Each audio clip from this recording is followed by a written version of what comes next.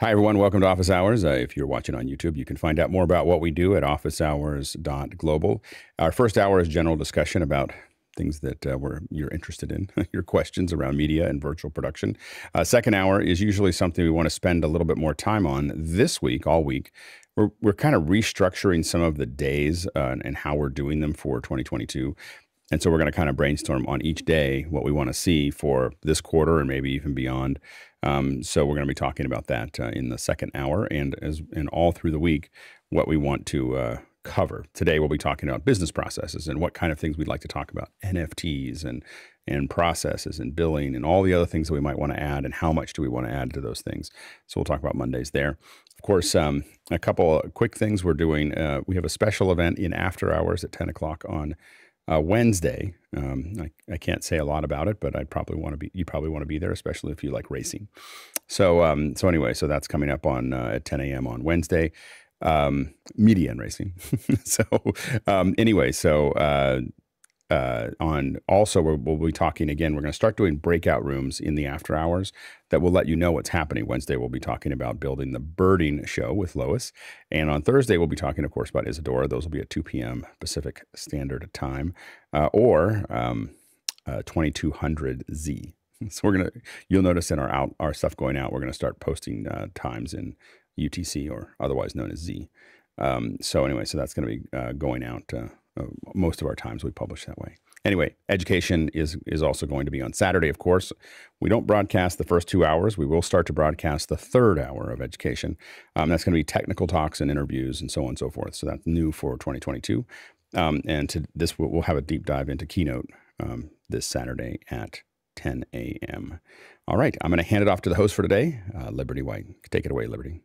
Good morning, good afternoon, and good evening to everyone wherever you are in the world. Happy New Year for our first um, broadcast during the week of 2022. If you are watching, we encourage you to put your questions in because you drive the show, and our panelists will do our best to answer them. And we're going to get started. Let's go, Bill.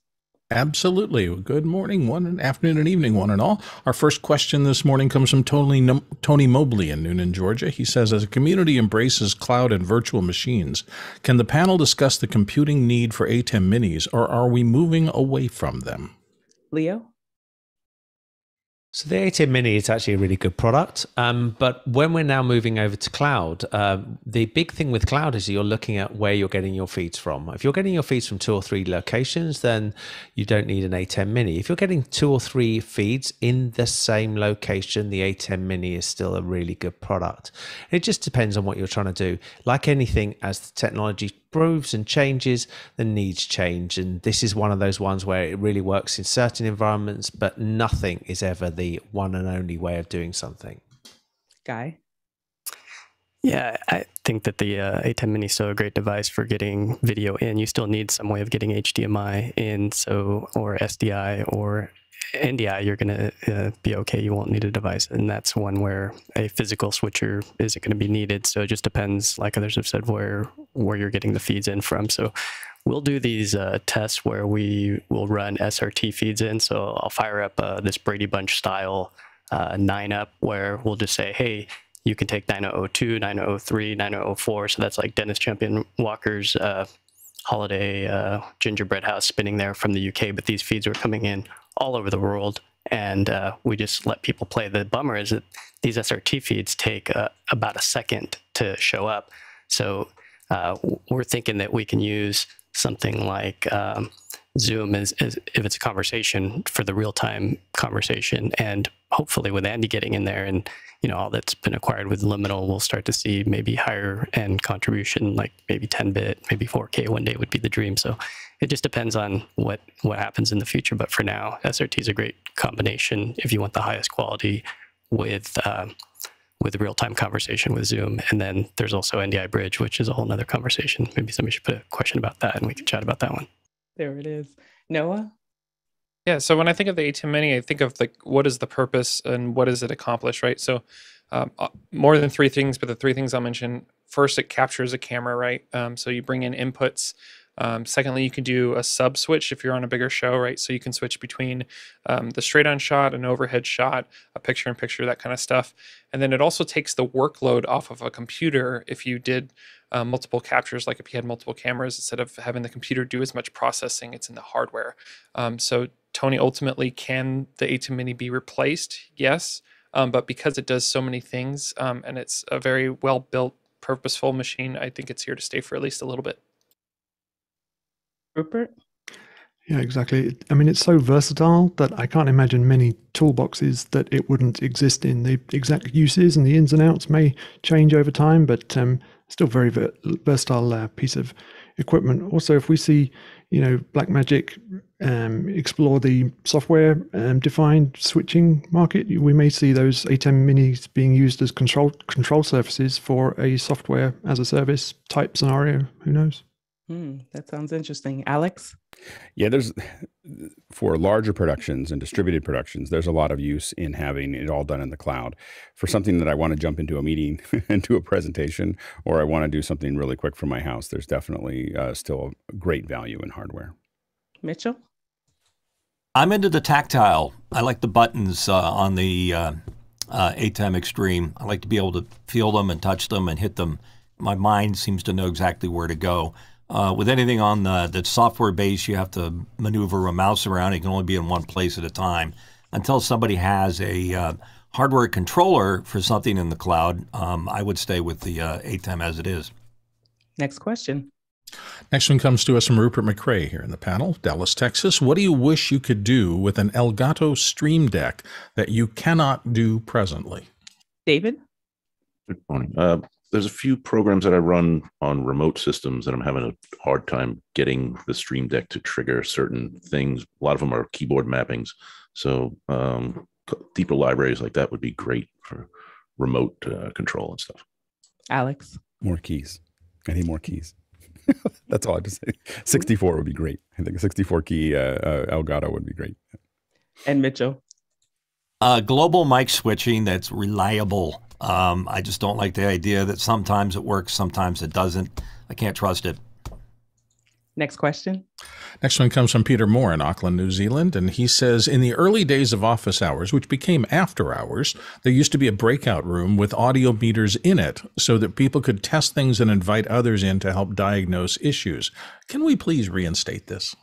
Alex for the most part, we're trying to do that in the main room because it allows us all to learn from what people are trying to figure out. I think at first we thought, well, we're going to have some conversation. Remember, in the early days, we only had after hours or post the post show or the pre show for an hour. So if you wanted to diagnose something, it didn't really work because you're taking up an hour. Now we're open 21 hours a day. And um, the reason that we try to have people diagnose and learn is so that all of us learn with it. It became something that was um, being used very casually for people to have lots of other conversations and the problem was is that it was leaving everybody else out and it was also starting to drain people from the main room. Now we are going to start adding more breakout rooms but those will be four sessions. So scheduled sessions uh, if you're interested in scheduling sessions let me know. Um, we're probably going to limit it to two a day no more than two a day. Um, so like wednesday has one at 10 a.m and one at 2 p.m uh, pacific standard time.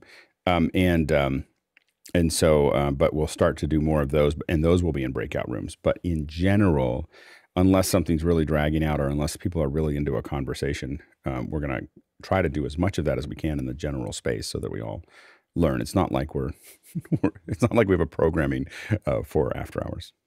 Next question. Next one comes from Mitchell Hill in Wilmington, Delaware. And Mitchell says, Now that 2022 is here, what media businesses has the most potential for growth this year? Rupert? I think the biggest area of growth from CES might be virtual events. I mean, if we look at the companies who are going, or rather the ones that aren't, they are all pretty much exploring virtual, you know, engagement options. So in terms of what might change this year and the areas of growth, I think that'll be a big one. Alex? I look at I, am tracking three things, um, you know, for 2022 and 2023 is one is is exactly what Rupert said: is virtual events. We're seeing partners that are seeing five x, ten x, twenty x uh, attendee, a number of attendant attendance numbers from what their physical events were. When that happens, even if you decide that the virtual event isn't as as effective as a physical event, it only has to be half as good or a quarter as good or 10% as good and then the roi is still way higher than the physical event and so and, our, and, a lot of our partners are starting to come around to that like they're starting to realize they're just and they barely scratched the surface it's barely working and they're getting much better results than they were before um, the other another one in from a media perspective is schooling and virtual schooling and virtual education um, we're about to go through a pretty heavy disruption you know, in education. And the next five years will be probably the most disruptive in our lifetime as we shift to a lot of more online schooling. Um, that is going to provide opportunities for the folks that are um, prepared and uh, a lot of upset for the folks that are not prepared. So, um, so, but what we can expect, what we should do is try to be prepared for that. And finally, 3D and AR. Um, Apple is most likely within the next two years going to unleash something big. We don't know when, but we but the rumors are now um, starting to heighten up a lot. Um, what that's going to do when we see USD, we'll know that the game is on when USDZ shows up in Keynote and, in Pages. And when that happens, we're probably less than a year out from a launch because they're going to drive a huge demand for 3D models. Um, and so, um, so Apple's built all the infrastructure to do that, um, and now they just have to flip that on. But I would expect that Keynote will get USDZ somewhere between three and 15 months before AR is re- an AR device is released because it drives it will drive huge demand for the uh, the assets that are necessary for the AR pipeline. Leo. So we've seen the first mover in uh, uh, virtual events happening in the last couple of years, and we've seen that there's certain people who are at the front. And I'm not sure they're sta- seeing people are going to be there because there's the big players in other markets that haven't actually got their bits right. So Cisco is a good example. They've got a platform, but it hasn't been the big one in there. And you and typically these guys take a little bit longer to get going and get moving into this area. And I could see this change coming about. And I can see that we are going to actually move away from this thing where people are saying, well, this is the new way of doing it, or we want to go back to the normal. And we were having this discussion on a program last week on the Synagogue Tech program when we were talking about what is the new normal and is what where we are now going to be regarded as where we're going forward. And I think this is going to be a really key part. One of the things that I've seen work really, really badly is I've seen people try and use some of these virtual platforms to replicate what they see on Zoom to be like a, a, more controlled version. And actually, what they do is they fall between the two posts. It doesn't work as well as Zoom because you don't get the interactivity of different people on the screen. And it doesn't work well enough to be a broadcast because they miss the single biggest point of why these things work is that you spend money on the mics, you spend money on the cameras. So they end up with a poor quality version of Zoom. And that's the area that's going to be coming out. So, what I do think is that the hardware side is the bit that needs to be brought up so that the game that people play is actually going to look good and sound good. And I know we've been talking about this a long time, but I think that's still key that's going to change over the next year. And Ken. Yeah, if um, I understand anything to go by in this present, well, last month, anything to go by, there's a big growth in people um, moving to the um, rather than publishing on places like on Facebook or using Twitter, that they're moving to owning their own um, content and publishing themselves. Um, seeing a lot of that movement away from the big kind of um, hosted platforms and and wanting to do it and own own it themselves, and because they have a worry of either being cancelled or or um, uh, worried about what they say being um, not allowed on a particular platform, so they want to do it themselves, and that's been a seeing a bigger growth of that. Uh, I expect to see a big growth in that in 2022. Yeah, there were a number of crashes last year, social media platforms that went down, and that really helped people to wake up to recognize okay, let's make sure that we've got our own platform firing on all cylinders. Alex? Yeah, I think that beyond whether you're saying something that gets you blocked or not, I think what people are starting to get tired of is the penal being penalized for linking to another platform. So if you put a YouTube link into Twitter, you're going to have a depressed uh, set of growth in your Twitter feed for a week. So, so those are the kind of things that people are getting tired of, and why they're you know um, why they're, I think, one of the reasons that they're moving. It's not even that they're saying incendiary things. It's literally they're just getting penalized for sharing something from another platform. And, and that practice by the platforms to try to keep people onto the platforms is actually making the platforms themselves less palatable. Next question. Next one comes to us from Peter Moore in Auckland, New Zealand. He says the barrier for entry into our community via Discord is still constrained by the need to be here at 6:37 a.m. until 6:49 a.m. Pacific Standard Time. And in case you missed it, there's no way of getting that URL. Apologies if that's not been addressed, but surely it's time to if not. Rupert? I, I believe it still is the case that uh, it's a once a day opportunity to to get that link at a, at a certain time. It's it's a um a nice uh, it's it's you only need to do that once, and you know it's probably just worth making the time to do it that one time. Alex. The secret to good communities is adding friction to the entrance entry. Like that is that's not something that I made up. That's not something that's made up. That's something that's been known for a long time. When you add friction to entry, you you the what ends up inside tends to be better. Uh, you will not see us adding less friction. You'll see us adding more friction. As office hours, as we start to promote office hours in a wider sense, it will be harder to get into Discord and harder to get into after hours. We may we may reduce Discord, for instance, down to a day you know, um, just uh, we, we want to constrain growth so that we maintain our culture. Um, and so, uh, so we will continue to. I pay attention to our growth across those two platforms um, very carefully. And so, if we start to see it spike, you'll see me start to tighten it. Actually, so if you want to get into one of those things, I would do it now because uh, it'll get someday there'll be a test. In, you know, in China, there's there, there's a social network that literally requires. Uh, a hundred page, a hundred hundred answers or something like that that they, they have you, you have to fill out before you're allowed to join, and it's one of the most successful uh, online communities in the world. Sky. Well, I'm. I don't think we'll ever have a hundred pages of questions, but Peter, no, I'm not. I don't like good. I know, but um, that's that's well. See, we've heard it here first. But Peter, I've I've participated with you in uh, the Southern Hemisphere Hour very late in my time, but the value of Discord is is huge. And what I look at is the the club membership, the athletic club membership of some kind, the gym. I continue to pay, but I hardly ever go. So I see this. Where is the value of this thing that you want? And I would say that Discord has a huge value, and I would hope that there would be a, a way to continue to, you know, find those people that want to be a part of that value. Next question. David Brady in New York City is in with New Year, New Skills. What's the best way to get started with Dante? Is VIA and the virtual sound card the way to go? Jason? It's certainly a great place to start. I would say at very least get one Audinate AVIO adapter and, and you know make use of it to, um, to to kind of be your cornerstone. That's that's my best advice. I, I don't really love VIA, but yeah, it's a way to start. Guy? Yeah, like Jason said, you really want a piece of hardware in on the system, not just going software. And then Dante er, on the site has some certification levels that are really nice. Um, I recommend jumping into their free uh, level one, level two, level three certifications, but don't mess around with not having at least one piece of clocking uh, hardware on. So uh, the cheapest Avio with XLR in, and then I'd get an out too, if, if possible. Alex just what Guy just said, the Avios are, are a great way to just add something to your system that's going to add a Dante clock.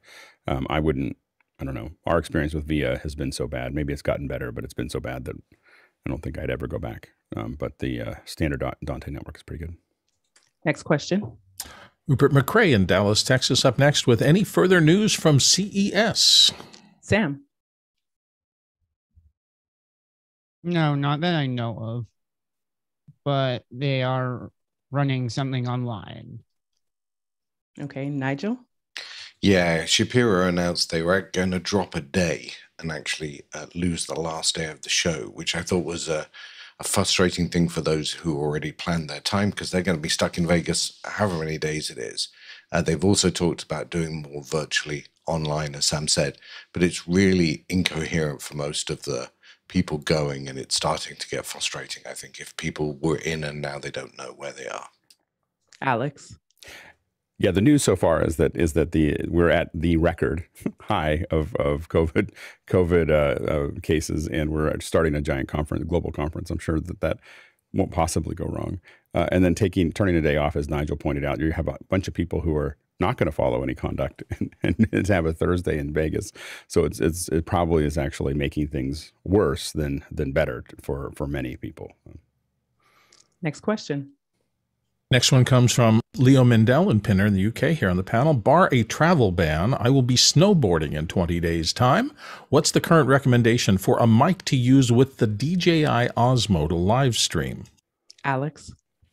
If you're live streaming, I think that then you do have to find a mic that's going to go in, and I actually don't know exactly. Some probably a Bluetooth um, type type style. If, if you're using the Osmo um, with the can with their phone, you know you're going to not, want something wired so um, some kind of bluetooth uh, trans, uh, transmitter is probably what you want to look at if you're recording i would re- really recommend some kind of small recording system that you can record separately. So you're going to have nat audio from the from your mic but it'll have lots of wind and everything else that's going to go on.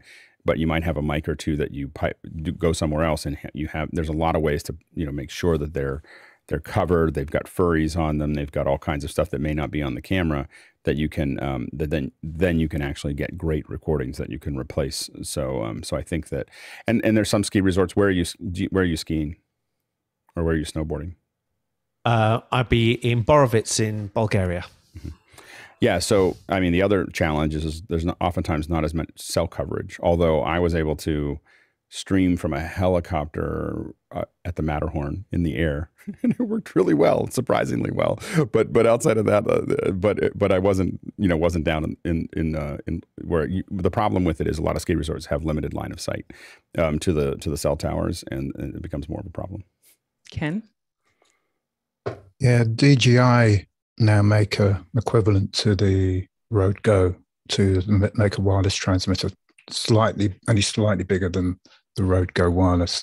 Um, hopefully, mine will be arriving in a few days so I can test it against uh, this one. But there's been really, really good reviews for the DJI uh, wireless equivalent of what the um, Rode Go make. Maybe you can test that in after hours so that Leo can see in advance. Rupert? As a slight uh, sidebar, I remember when we talked uh, with Leo about this before about live streaming on the on the snow and stuff like that. We were talking about Zoom to a cell phone. I think since then we've seen the HD upgrade in Zoom from a cell phone at 16 by 9. So um, just maybe more actually viable to um, use your phone if you wanted to come in via Zoom uh, now rather than it was before. Bill. Yeah, the only thing I've ever gotten with uh, with using my Osmo to successfully connect an audio signal has been when I'm using Filmic Pro with it because they had something that managed to take in uh, a feed from my AVX system. But uh, other than that, it's a problem. So I'm just going to recommend you test a good little bit and see if you can find something that doesn't uh, stop that gimbal from operating due to wiring. It's a hard challenge. Next question. Joe Floyd in Gainesville, Florida says any 2022 reading recommendations for building a small YouTube public access style studio. Books for small audio studios are plentiful, but is there a uh, but there is a dearth of lighting and set design and so forth. Noah. I think it comes down to um, the medium that you're asking, right? You're asking for a written article um, or books. Um, I think with office hours, let, let me rephrase this. I can't recommend specific writings, but I can recommend in office hours we do um, breakdowns of smaller studios. I know Alex is building one now, um, separate from office hours. Doug Johnson is currently building out his home studio. Um, so you can definitely pull a lot of ideas and concepts from those other places to um, add to your build out. Courtney? Yeah, asking for a book is, is a bit strange to ask for a book on how to set up a streaming media studio because on YouTube, of course, there are thousands of instructional videos and, and sites like mentioned earlier, Doug Johnson and Aaron Parecki have done a lot of great videos on building out their studios and what equipment's required, how it's set up, how the lighting is done. Uh, so those are plentiful. They're free and they're easy to stream. And if you're getting into the pub in, into uh, public access or YouTube streaming, what better place to find out about it than on YouTube? Alex. Yeah, I, I'd probably say that I think that this is probably the most informed group when it comes to talking about studio smaller studios that there's that's there, and so I think that what I would do is ask lots of questions. Um, we will talk more about studios on Fridays, and in fact, if you come this Friday when we talk about the planning, we'll decide how often we're going to talk about it. Um, but we probably will talk about studios, home studios, larger studios, etc. probably once a month. As you know, I think that studio design is probably something that we will um, take up relatively often um, as we go into 2022. So I, I, we definitely will cover it more here. I don't think, I'll be honest, I just don't think that there's a lot of great resources out there, and which is why we're going to spend more time on it. Uh, most of the ones that I read online, I, I at least I disagree with. As someone who's built a lot of small studios, I mean, you know, over 50 of them, I I have definitely some strong opinions about it. So um, so I haven't seen a lot of resources that I would recommend. Jason. Well, on the back of that, um, Stephen Lampin has a pretty good pocket resource guide that is just a really, really easy way to to understand what something is and why. Um, I would start with that. And Rupert? I would just look for resources that uh, re- remain up to date. You know, with anything that's printed or set in stone, it's almost immediately, you know, in terms of design or current concepts, particularly in this current you know time we live in things just moving so quickly. You need to um, choose some resources that uh, are, are growing with the times. Bill I'm just going to amplify what he just said and what everybody has just said. This is a difficulty because the state of things. I mean, take lighting. This the whole migration over the last 15 years from all tungsten to all these LEDs and LEDs starting out so bad and getting better and better. There's just so much activity in that space that trying to figure out the exact best tools to use to modernize your studio and to work in these smaller spaces. Uh, the only place you're going to get that kind of information is in some kind of live interactive thing. And I agree with Alex. I think coming coming here and asking questions in after hours is probably your single best source of expertise and knowledge. And or come on the show and and pepper us with questions because in the live real time you'll get a lot more help about what's actually working now because we're all using this stuff. Yeah, I'll co-sign with Bill and Alex and just after hours because people have broken down and built up their home studios and studios overall. And then you just also get a lot more time with people in after hours. So come on back. Bill? Moving on to the next question. It comes to us from Douglas Carmichael. And he says If I'm using a Heil PR40 or Earthworks mic with headphones, would it be best to turn original sound on at all times? Stefan? Well, in, in my understanding, it's not so much a matter of the the mic. Uh, if you turn it on or leave it off, it's more a matter of how uh, noisy your background is. Uh, and that's where uh, Zoom steps in uh, with its adjustments. David. Yeah, I switched over to the USB version of that Earthworks mic, and when I pl- plugged it in, and everybody was like, "Oh, that's pretty cool," but try original sound, and it just picks up way too much of my environment. I just had to close the window because a cop car was going by. Next question. Next one comes from Jonas Dattel in Stuttgart, Germany. Has someone used StreamShark.io in the past? Alex.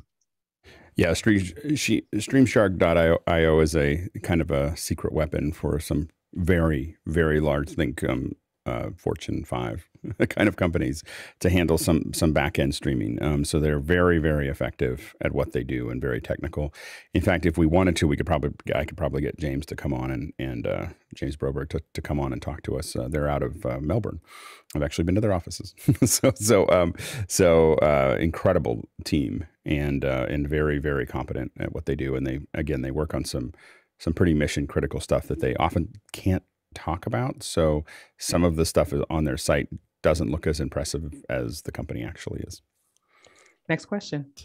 Mitchell Hill, Wilmington, Delaware, here in the panel. And with this question Is there a method for using a contact closure to toggle Zoom's mic mute on and off?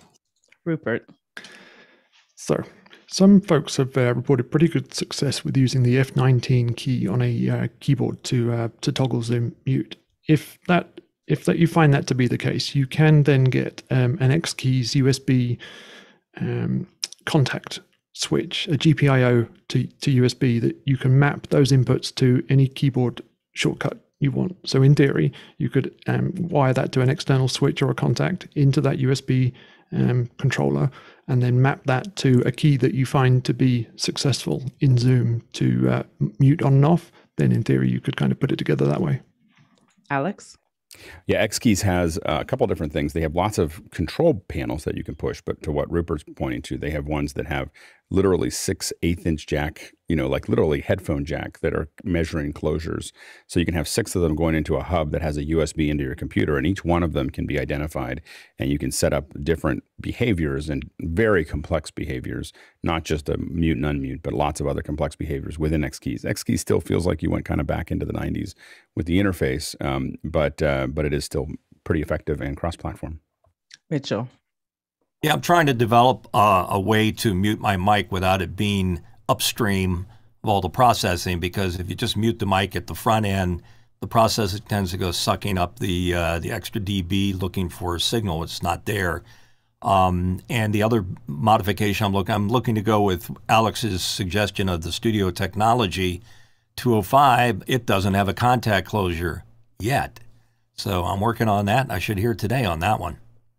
David plus one on the XKeys. This is the XKeys 16 strip, and it's just the right size, fits right in front of the extreme ISO. Works pretty good. Guy? Yeah, I think that everybody else um, got it pretty good with the regular version, but I'm still using the good old Stream Deck, and uh, I just went and checked why my settings seem to work, and it looks like I actually found something kind of interesting. The Stream Deck mute button is actually in there hotkey 1, Alt A, hotkey 2, Alt A, and then it's on global.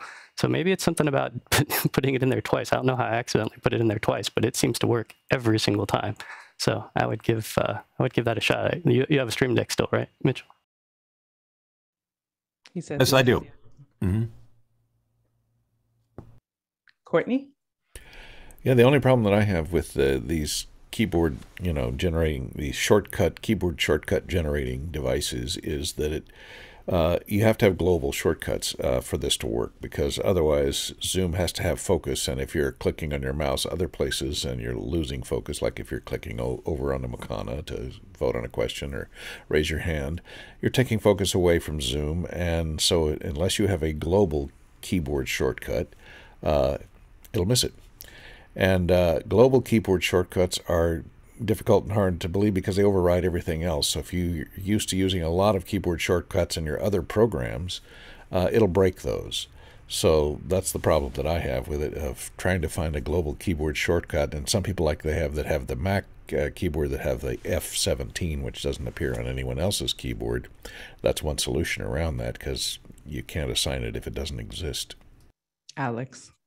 Yeah, the, the 205 actually does have a contact closure built into it. So it's an eighth inch jack, just like the one we'd see in XKeys. And inside of the ST controller, you have an option for remote control input one, remote control input two, and you can build behaviors um, based on that. Um, so it, it is already built into the 205. Next question. Next question TJ Asher comes up from Minneapolis, Minnesota, and says if special items will be in breakout rooms for after hours, will the same rules of camera on still apply when in a breakout room? Alex? No. so you, you will you'll be able to go in there and turn it off. And the reason for that is that they're they're specific and those are breakout those are basic uh, breakout rooms that are specifically scheduled and specifically opened uh, for a conversation and some people just want to watch um, the main reason we did that was that there was a lot of just a lot of people hanging out with their cameras off, and there'd be one or two people in there by themselves just having a conversation. And that was super uncomfortable when we first started doing it, when it was kind of ad hoc. Um, so that's why we had that rule that everyone had to kind of turn their cameras on. So you won't have to turn your cameras on for the scheduled events. Uh, if there's some kind of ad hoc breakout, absolutely you need to keep them on. But if you're if we're talking about these scheduled events, which is probably the only time we'll use breakouts for a while, um, is uh, or or the only time it'll be sanctioned anyway, uh, is uh, you'll be able to go in there and turn your cameras off because I think there's a real value to being able to just listen. Um, as someone now that listens probably 80% of the time that I'm in after hours uh, with my camera off, I feel like it would be uh, hypocritical if I said there was some other way to do it. That's a good refresher for our upcoming uh, breakouts this week. Yeah, Thanks. yeah, absolutely. Next question. Serge Blondin in Montreal is up next, and he says, "How many of the panel have upgraded their productions uh, Macs to OS Monterey?" Jason, um, with the exception of my brand new MacBook Pro, I've upgraded absolutely nothing. Uh, the MacBook Pro, the one that, that, that ships with it, it absolutely requires it to be up to date. Uh, everything else, nope, not in production. Ari. Mm, I don't know uh, how much this qualifies as uh, as an upgrade because uh, on my M1 Mac Mini out of the box it wasn't Monterey, but I upgraded it immediately. There was nothing on it. I use it in production daily uh, for Zoom ISO. It's fine, and none of the memory leak uh, issues that were seen um, several weeks ago. So for me, it's great. Alex. Yeah, I I upgraded a couple of my machines to Monterey. I won't upgrade anymore because of the red, the little orange dot that appears uh, in over top of everything. So there's an orange dot on the second screen over at the upper right corner, which I have right now. so which I can see at the moment uh, in my in my second screen. And um, let me see if I can. Uh, I got lost in my mouse. Um, so, but that is the um, you know that's the problem that we have with it is that sorry i've got a bunch of stuff stacked up on it. I'll, I'll show it to you but there's just I'm afraid i'm going to create feedback here. But you can see in the upper corner in the upper corner uh, right uh, upper right um, you'll see a little orange dot and that is um, yeah that's there all the time when you're uh, with monterey. So i would recommend until apple fixes that to not use monterey. You know like to just stay with big sur I saw your tweet after the New Year's after hours, and I was so proud of myself that I updated and everything. And I saw your tweet yeah. saying that you have stopped. So I'm glad yeah. this question came up. Yeah, it's it's it's I I get where Apple's coming. They're trying to increase security and everything else, but it's a for event folks, it's kind of disastrously bad.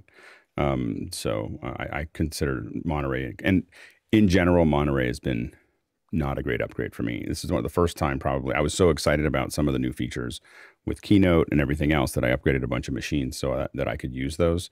And it's the first time I've upgraded in the first six months after Apple's released something, and I'll never do it again. like like like it's I'm going to let everyone test it from now Have on. Have you um, downgraded um, any machines that you? I'm getting ready to. I'm going to downgrade okay. a couple of machines back to Big Sur, um, but Monterey is not ready for prime time, in my opinion. Uh, unless you unless there's a feature that you can't operate without, I would not go to Monterey anytime soon. Copy that. Mitchell? My production Mac is the old uh, 2010 5.2 uh, cheese grater Mac that's been upgraded to OWC, and it won't go above Catalina. So I don't have an issue with that. My M1, which is running Zoom, um, I did go to Monterey, and I do have an orange dot. I'm just pretending it's not there right now. oh, Bill. Uh, well, I did Monterey too. Uh, when it first came out, I've been using it successfully, and I, I, don't do a lot of screen scraping. I don't do screen sharing. If I did, it would probably annoy me. But in just regular computing, uh, I've had a couple of customers who uh, I trust come over and work behind me, and nobody seems to be bothered by it. So for me, it's been good, but it's an individual thing. Okay. Next question. Next one comes in from Tobias Moss and uh, I'm sorry, Noah Sargent in Fullerton, California, from the U.S. Here, how could we utilize NFTs, non-fungible tokens, for a media ecosystem? Alex, I think the big thing that NFTs provide, and we're going to talk about those in in more detail as we go through this year, but I think that one of the things that they provide is the opportunity to to guarantee an authenticity of a specific item, and so that could be um, now you can have virtual events where you're handing something out like a trading card or like a little trophy or like a, a you know all kinds of other things, and that thing theoretically is trackable as this is a original item of its kind. Um, so those could be providing you know souvenirs, um, what I what I tend to refer to as artifacts um, of the of your experience um, that you that you can buy only when you're there. So maybe the people the only time you can buy that NFT is when you're in that virtual event. You know, so that might be imagine a band, and the only time you can buy a digital item from them is when you're in the in the you know there at the location. Um, I think also uh, one of the things we talked about over the weekend is book signings. Um, you know, where you can have someone signing the, the cover of a book or the you know the cover of the image and then converting that to an NFT and sending it to you as part of the like that what you used to have is you used to have them sign the book. And then you so anything you think about of I went somewhere and I got something that is original to that piece I think NFTs become practical especially now with the advent of Polygon. You know because I think that before that it was on uh, you know they were kind of unusable for little things. Um, and I think that we're going to see more people being more efficient um, uh, in the in the future to make that work Next question. Tobias Moss is up next from Minneapolis, Minnesota. He says Phish, P H I S H, performed in front of no audience except 70,000 YouTube accounts watching live. Did this New Year's Eve change how artists think about digital first concerts? Rupert? I think uh, plenty of artists are already embracing the, the digital first uh, model regardless. New Year's Eve is a tricky one though, because you really at the last minute want that ultimately live, you know, actual live, you know, uh, moment. So, you know, I think there's a little bit of work there maybe to be done to to generate that in a digital first world, you know, at the stroke of midnight, exactly with with no latency and all that uh, kind of stuff. But I have to say that um, trying to uh, find some enjoyable coverage on broadcast uh, for New Year's Eve was uh, a challenge. Courtney. I don't know. I haven't heard too much from um, uh, artists, musical artists, about performing in front of an all digital audience. But I know in sports there was quite a bad reaction to it because they didn't have the fans in the stadium, so they weren't getting the performers on stage weren't getting the feet and the sports players of the game weren't getting the feedback from the crowd that they normally got, and they didn't play as good a game or they felt not as motivated. Uh, it sets up a different environment for the artist. And I'm wondering in these 70,000 YouTube accounts watching how they got feedback from those fans since they're not hearing them, you know, shouting, you know, play Freebird, you know, or whatever whatever the drunken audience is shouting out. Uh, unless they've arranged for some way to feed that crowd noise back into the artist so that they get immediate feedback. Alex?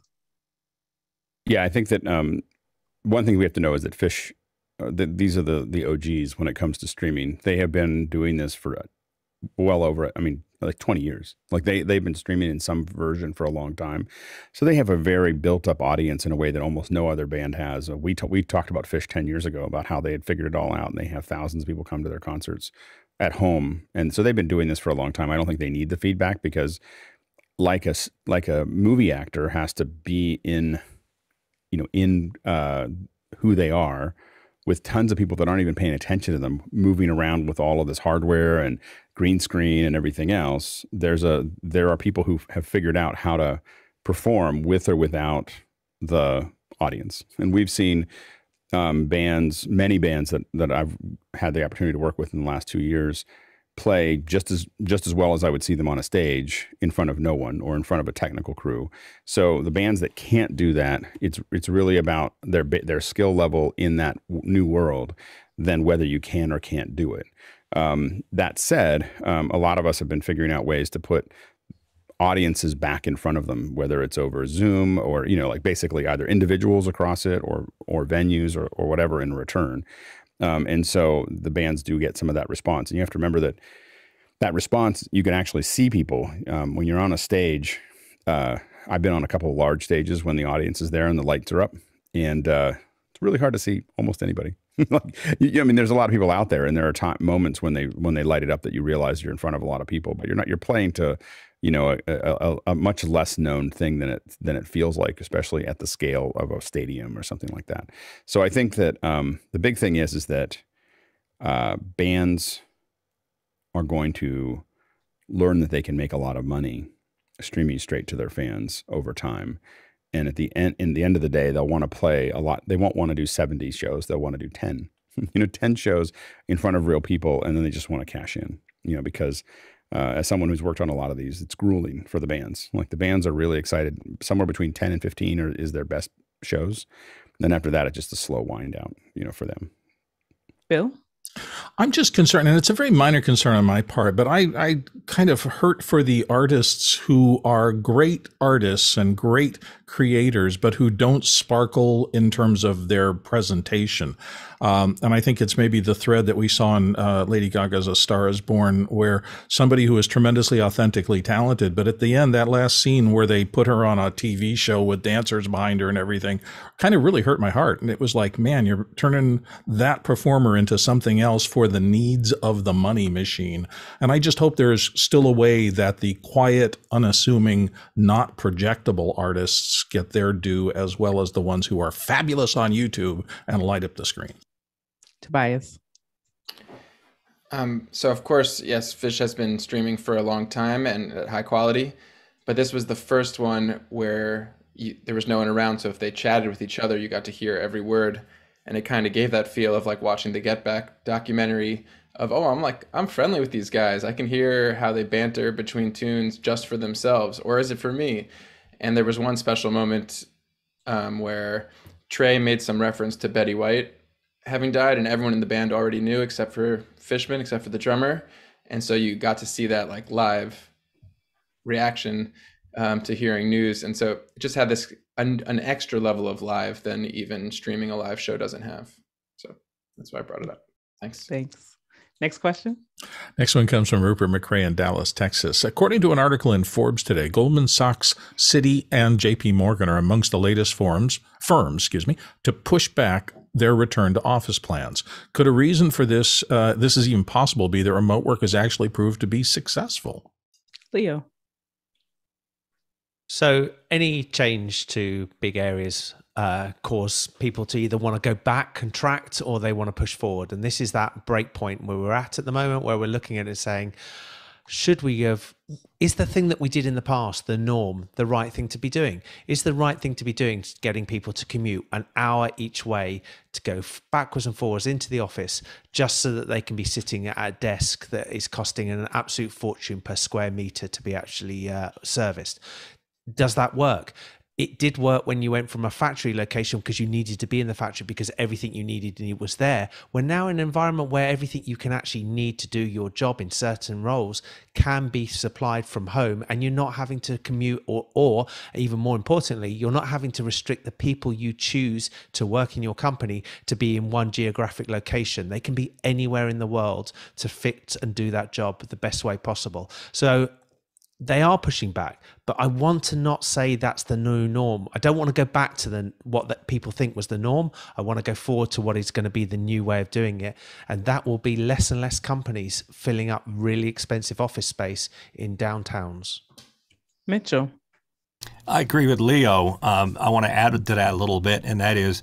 How do we measure the success of whether we do that or not? And it's not necessarily going to be measured by Chase and Sachs and other companies like that. It's going to be measured by the employees and the people that have to work in those spaces.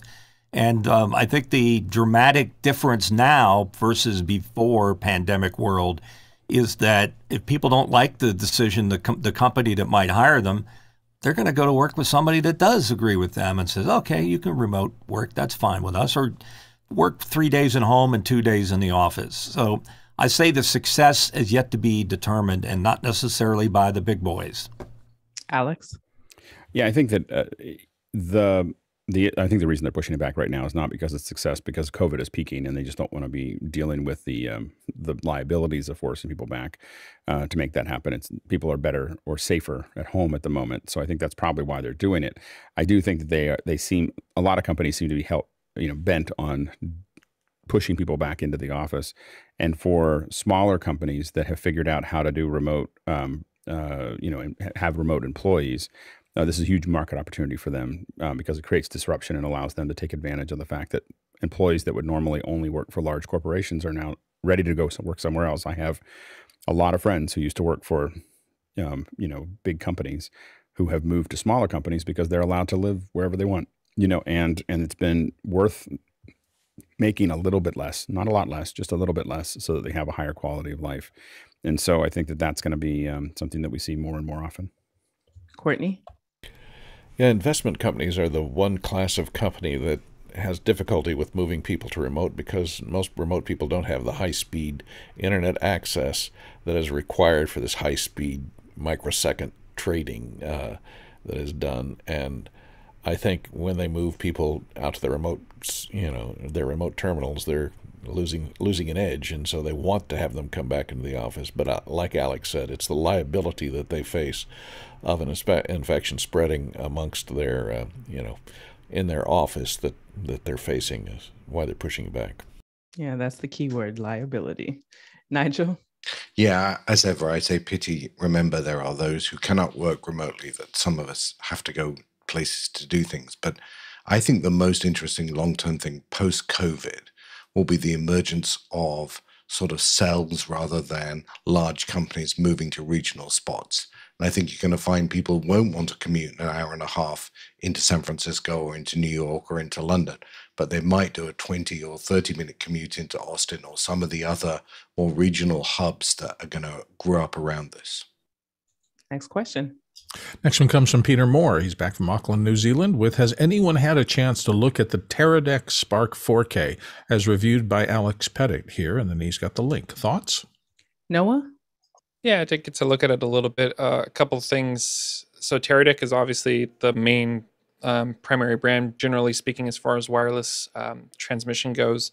They do have a product above that that's called the Teradek Bolt 4K. So that's the one I'm used to using. I have uh, one for my company, and so that's been extremely reliable um, with certain caveats. And this also probably applies to this smaller, uh, better priced unit. Uh, the first thing is the distance. Like it might be advertised the that unit you're looking at is 500 feet, mine is 750. So I would cut that in half and just know it's line of sight. Um, the reason for that is using a 5 gigahertz transmission.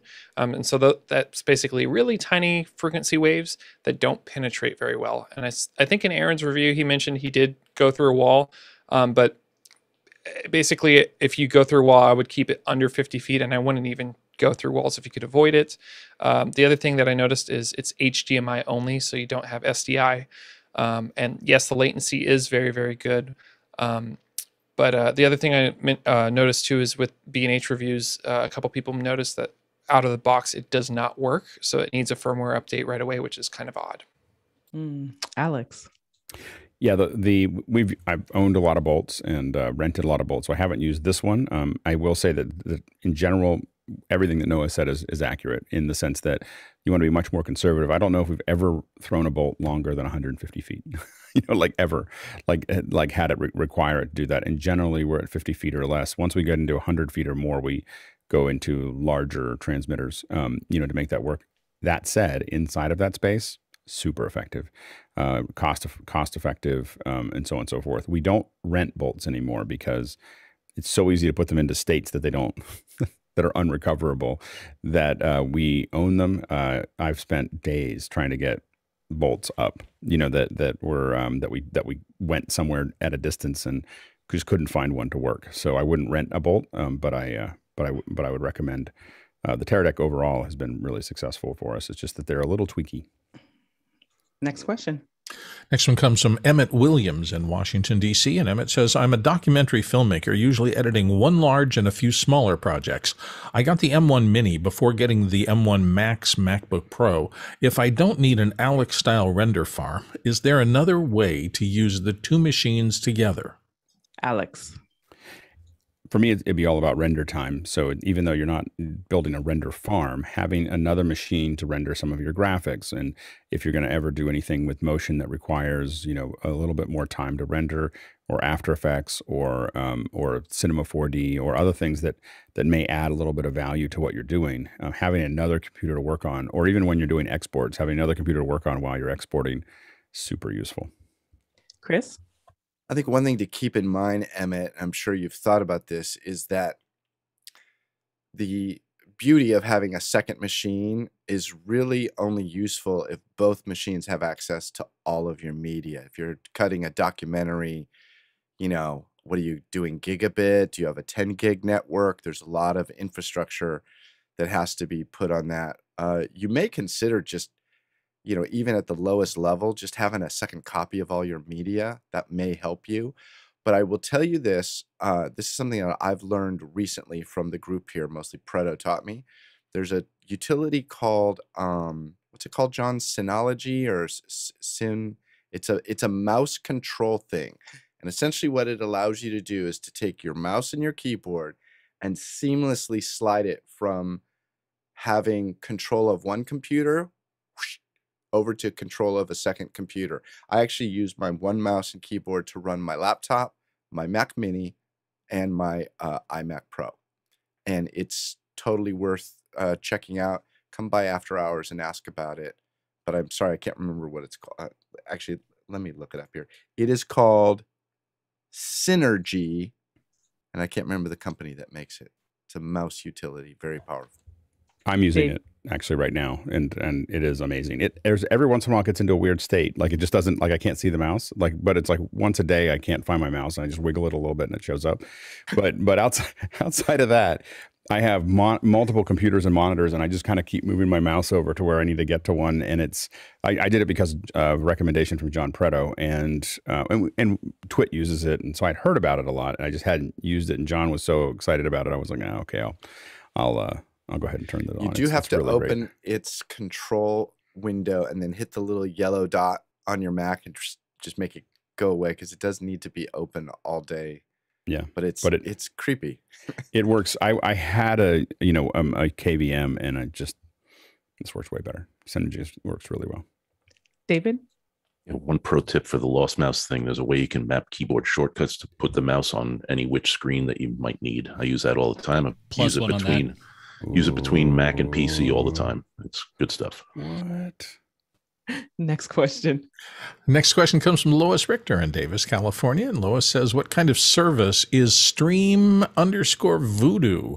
And how do you use it in your works workflow? Alex. Uh, I I can't say how much I can talk about it yet because I'm testing. I'm, I'm probably a couple versions ahead of everybody, uh, but I'm testing Stream Voodoo, Voodoo a lot. It's a really impressive pipeline. So it's really designed for people who want to do high end broadcasts and be able to integrate other people at a high resolution um, and really, you know, um, and have a lot of control. So you can actually control. Uh, it's it's kind of like having a Zoom session, but you can control your different um, compression settings and resolutions. Every person can use a different one and do what makes the most sense for what they're doing. Um, and then there's and there's a lot of features that I, as I said, I'm, I'm not sure what's in the current version, so I can't get too far too deep into that. But it's um, uh, it's a really really powerful tool that has if you need if you always wish you had more dials to turn on Zoom to affect your color and so on. Or not affect color, but affect your resolution and quality and everything else. It has all the dials. Um, it is a little bit heavier to use just because it's not quite as automatic. But it's a if if you're looking for kind of a really interactive, like how do I pull people together, you can choose different things to send into the scene to to other people. It's it's it's it's a it's very different than Zoom and very powerful. I Yeah, as Alex was saying, it's it's the contribution method really is what it boils down to. It's kind of like Video Ninja, and if you've watched Tony's show, you can see that we get a little bit crispier image. It just it, it appears sharper, and there's a little bit richer color.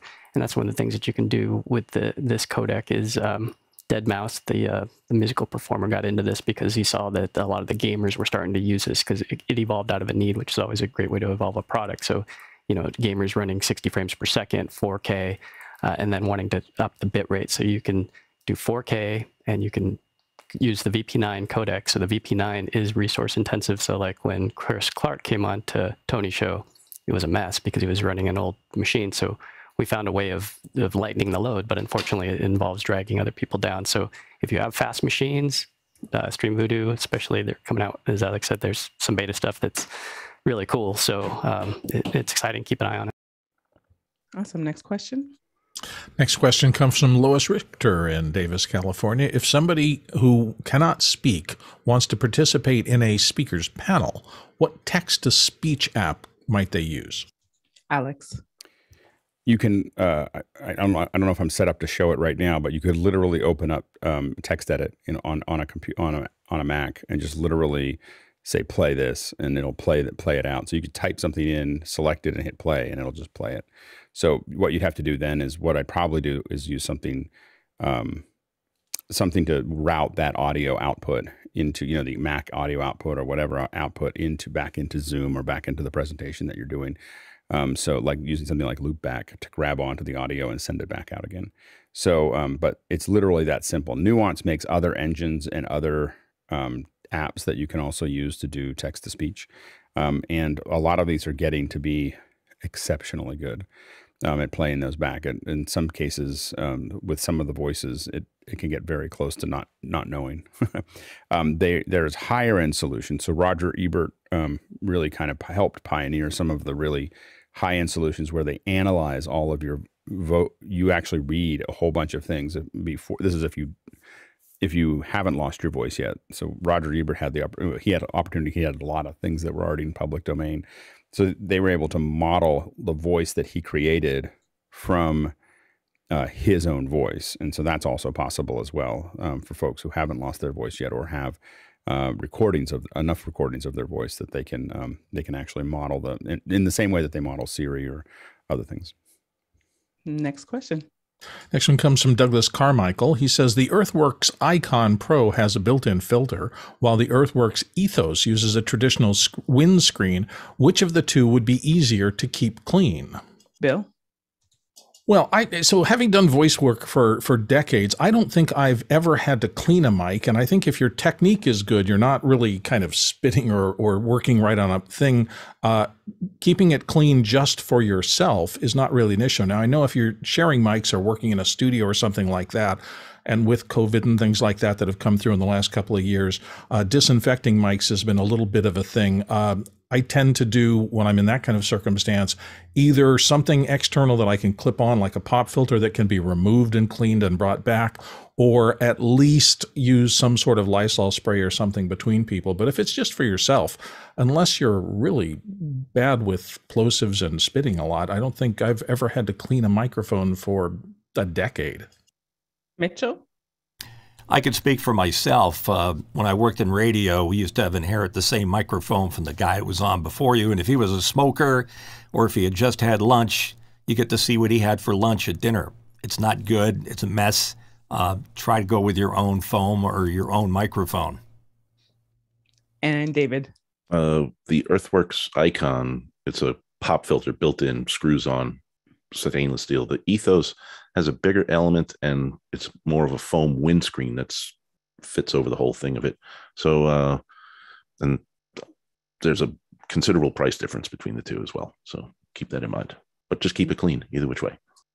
Okay, we're going to go over just a little bit to wrap up these questions that we have before we jump into our second hour Next question. Tobias Moss has one of the last few here. With uh, for purpose of singing and speaking on a stage, comment on the Countryman E6 versus the DPA 4088 or other options. Alex. I'm mostly interested. I'm mostly familiar with the uh, H6, which is the full headset, um, which I would recommend, or the DPA 4066. I'm not as familiar with the 4088. Um, I will say that the DPA will um, have a little bit more bass response, in my opinion. Uh, it looks a little bit larger, but it'll have a little bit more bass response than the Countryman will. I, I own both of the, the 4066 and the H6. Um, the one that a lot of singers use is actually made by Crown, and I can't think of the the name. It's about four or five hundred dollars, and it's a or maybe five hundred dollars, and it's a. I know it sounds odd that Crown would make a headset that we'd all use, but but I think that um, that is the one that Garth Brooks and a lot of other uh, singers swear by will not use anything else other than the, that that one, and it's got a much larger diaphragm, so it's not as low profile um, from it. But it, it, I'm told that it sounds really good. I've been keep on trying to think I should buy one and or test one, you know, to test, but I just don't, just haven't had the the, the available resources to buy something that I'm not sure I'll use all the time. It's a CM311. Oh yeah, there you go, CM311. Guy. Yeah, what Alex said, but also adding in uh, that there's in the Discord, uh, the Office Hours Discord, there's a microphone section, and I just put up a uh, diagram from the DPA site, which shows some interesting stuff about the placement. So if you look at the third and fourth ones down, the microphone is placed on the on the very top of the head, and this is what we're seeing in a lot of Broadway plays these days. Is there the placement of the microphone greatly uh, changes the frequency response. So if you noticed here, uh, traditional head worn mic uh, down by the mouth has this kind of fall off like this, where you can see how much more clarity you can get at the head. So I'd be looking um, not only at, at the mic manufacturer, but uh, place of, placement of the mic. If they're going to be singing, keep those diagrams of mic on the uh, DPA website and, and just read up and understand really what you're doing and, and watch some YouTube videos of what's going on and how they're miking uh, performers that are doing this every day. So they're doing it at the highest level, obviously. Next question. Next one comes from Mitchell Hill in Wilmington, Delaware. He says, I wanted to extend my Shure SE215 earphone wire to the longer version it came with and terminate it in a quarter inch plug. How to do that, I guess. Courtney.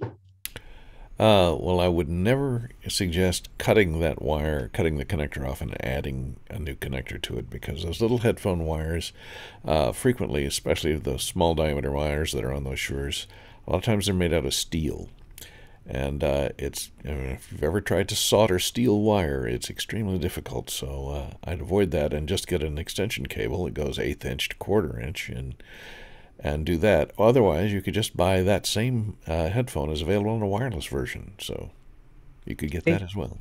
David. Weeks back here on Office Hours, somebody mentioned Angry Audio, and I looked through some of the products. They make this thing called the headphone disconnector. It's a MagSafe doodad. Goes from eighth inch to quarter inch there. Additionally, they have a product that's a desk mounted thing called the Disconnector Buddy or something like that. And you screw that in. You can see here it's then connect quarter inch out. So you would put your headphone into the little MagSafe end on this end, connect it into the, the table mount thing, and you're good to go. No modifications necessary. Next question. Uh, Douglas Carmichael's up next. He says many productions have used NASA sound effects, comms, the countdown narration to build suspense. Where do you think that came from? And would a second hour with Preto about high-powered model rocketry have an audience? Alex.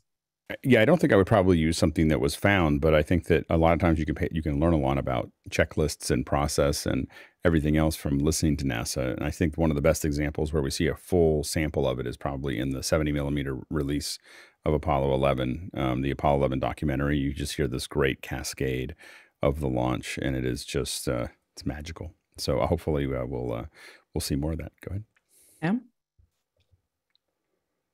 Uh, yeah, building on Alex's comment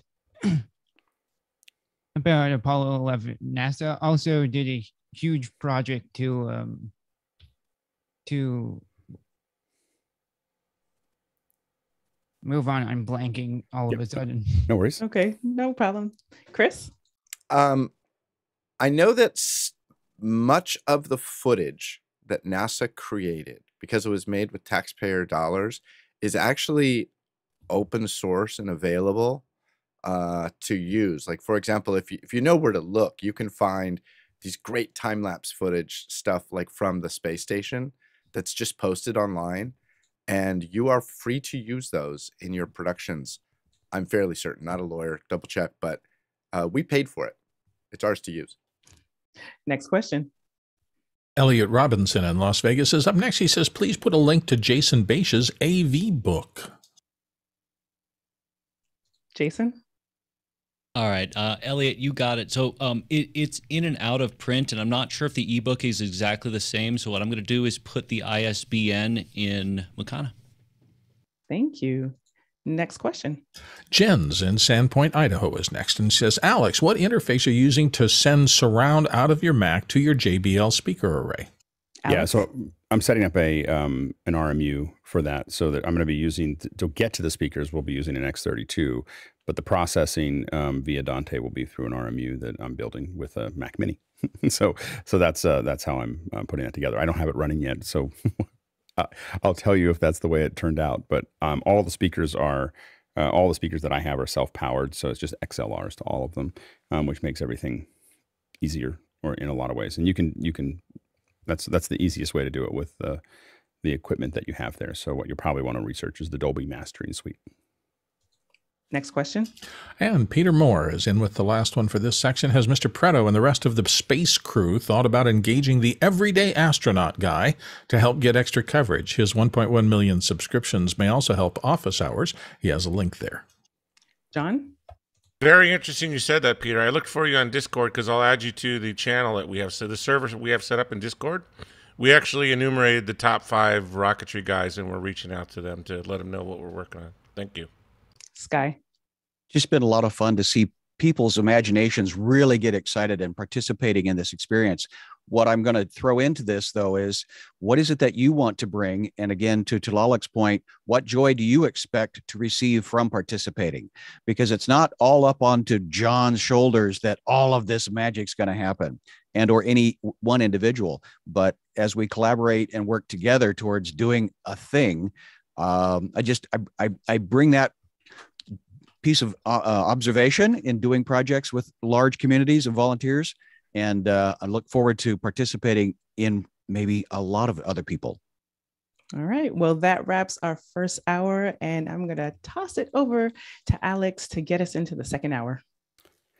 So yeah, so what we're doing this week is really thinking. I mean, it's really for the whole year, but we'll probably keep on coming back to this every once in a while. I probably won't do it for a whole week, um, but we're restructuring a little bit of the of the second hours um, to kind of help us. Uh, uh, adjust to a, a, lot of different opportunities. And so, um, so basically, to kind of break it down, um, on Mondays will really be business ideas. So, like as a business owner, you know, what are the opportunities for us to jump into? What are the things that we might want to know? So again, one thing that's been very popular that a lot of people are talking about is NFTs and and cryptocurrency and crypto in general, but also how to run our business, how to bill, how to, and we've split those. Those have floated all over the the different days.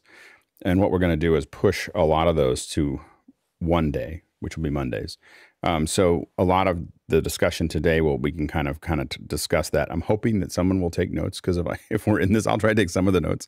But it's really good, and it's really good to use the second hour suggestions. Um, but what you know what we're going to do is try to really plan out the next quarter, and so we want to think about the kind of subjects we want to talk about.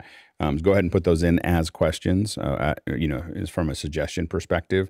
Um, but um, but think about those. I think that we're probably you know, unless people push back a lot, we're probably going to talk about NFTs and crypto at least once a month. And a, and one thing to think about is, uh, one of the things I won't do it all the way through, but one of the things I'm trying to figure out is how to think about each day as um, monthly user group meetings. so, so you know, like there's a different, there's like four different subjects that we may cover, or two different, you know, like there's different. We try to break these up into lots of different little bits and pieces that we can cover there. So so like so think about 20 different kind of user groups but they fit into different things. So you know like one week might be NFT, another week might be running your business, another might be media opportunities or whatever and we kind of talk through you know those types of things but it happens that way every every month. Um, so, uh, and I'm open to suggestion, but and this is a good time to do it. Um, but uh, but anyway, so that's that's something that I'm um, you know kind of looking at from a structure. So uh, Monday is again business. Tuesday, we're going to kind of combine audio and video together. So we'll kind of go every other, um, you know, for that. And then Wednesday, we're really going to look at more of the visual effects, animation, 3D, so on and so forth. We'll have, you know, more of that. We it's something that I think we need more of in our group, and uh, and so and second hours help drive kind of who sh- who shows up. so so I think we want to do that. Um, and then Thursday is really artists. It's not going to be technical. Thursdays are about us getting back to the like what you know why we do this. So it'll be music artists and and authors and speakers and you know all kinds of other stuff but it'll just be you know thurs- thursdays will be more of an artistic uh, view of things and then friday is really designed as nuts and bolts you know like really just how we you know how do we get equipment in and out and how do we wire things up and most likely that's where we talk about studios and so on and so forth so um so anyway that's it and then of course saturday's education and Sunday is now cooking. There's no no real day off. So um, you know, so the cooking will all be moved to Sunday. Uh, we we tested that over the last year, um, and we'll be doing it. So Sunday at ten, uh, will be there. That's giving us more room for things like the Belfast method on Saturday, um, and wherever you know wherever that goes. So where, no matter what we're going to do, we're going to hold that space there um, for so the Saturday at noon um, we're holding on to, and then um, education will expand by another hour to support um, a technical and streamed support um, uh, event on sat- every Saturday. And so so those are, those are kind of the the trajectories of a lot of the bits and pieces of that. So anyway, so we'll go back to um, to business and uh, and what we what we want to um, actually talk about, and let's go ahead and jump into the questions. Our first one looks like it comes from John Snyder in Reno, Nevada, and he says, "How do you manage remote hybrid on-site teams differently?" Rupert, there's um, a lot of different uh, points of view here. I'm sure. I'm just going to take a a view at this from a HR corporate perspective. Well, and, and I think I think what we want to do is is I think for planning we want to think about, and we can talk about this to some degree here, but I think what we're looking for from from folks is is to talk about it in context of should we create it a day, you know, a second hour, because I think that probably that's a second hour. But go ahead, Rupert, if you want to jump in. But when we think about how we answer these as panelists for this hour, it's really thinking about are we going to make a second hour out of these questions? Yeah, I, I do think this is a wider um, topic because coming at it from a um, looking at it from an, a corporate perspective, maybe at an HR level, really and truly, there should be no difference. In fact, if there is a difference, that's part of the problem right now. Is you get into this equality um, you know, disparity between working at home, working remote, whatever, in terms of how people are managed and how and work is distributed, and you know, all of those how expectations are set. If you look at the advice coming out of the big HR firms, the HR think tanks, all those folks, it's about how to set all that stuff as a level standard. So if there is a difference, you've probably actually got already in, in a little bit of a problem, but probably a wider topic. Leo? Taking the lead from Alex, uh, I think this is an interesting subject that we need to work on, and it's subject that I'd like to be discussing. I can see a lot of different things about how it works in different countries, how we work in different areas, and I'd like to be able to progress and look at the different advantages, get some feedback from people in different marketplaces. So we'll make sure that the panel contains people that know what's going to be happening there or that, that have got experience in there. But I think this is a big thing that we can push and help the the the community to grow on. Nigel. Yeah, I think I would add to that conversation how do you set objectives for people and for teams, and how do you reward them? How do you reward individuals? How do you reward teams? How do you use some of those tools when you can't, you know, walk around and slap them on, on the back and say, well done? Yeah, and I agree with um, everything that's been said, but then also there are different types of industries. So we do a lot of work with nonprofits, and now you're dealing with volunteers and how you manage them and that process. I think that would be um, great for us to even break down even further the, like Leo said, countries and industries. Sky? Well, Liberty, you and I worked together uh, remotely and you and I have never met in person, but I feel like we we share a lot of the same aspirations and and goals. But also in doing production, there was a, an inventory of product that or, or production equipment that you had, and in working with Geoff uh, Keighley, I realized I was bringing a lot of specific tools to the party to s- solve his solution and be valuable to him. So somehow there's also that management of what the tools are that you are good at and are bringing to the experience. Good point. Alex? Yeah, and I think that um, there's probably a second hour there just to talk about working with volunteers.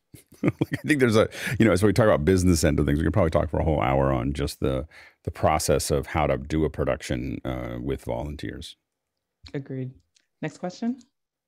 John Snyder in Reno, Nevada says, uh, What are some of the key differentiators you have implemented in your business that sets you apart from competition?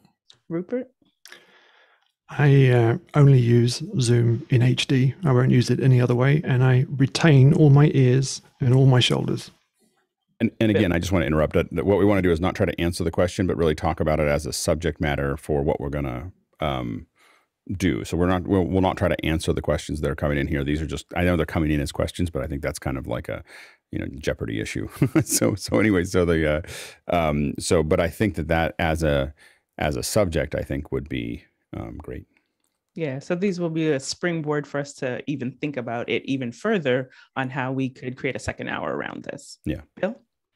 Well, I, my comment was just going to be that all the differentiators, looking back on my career, that really set me apart from any of my compos- competition. Again, I'm going to interrupt you. I just want to make sure we're talking to the what will we do in the future as a second hour, not try to answer the question itself. So just want to make sure we're on the same page.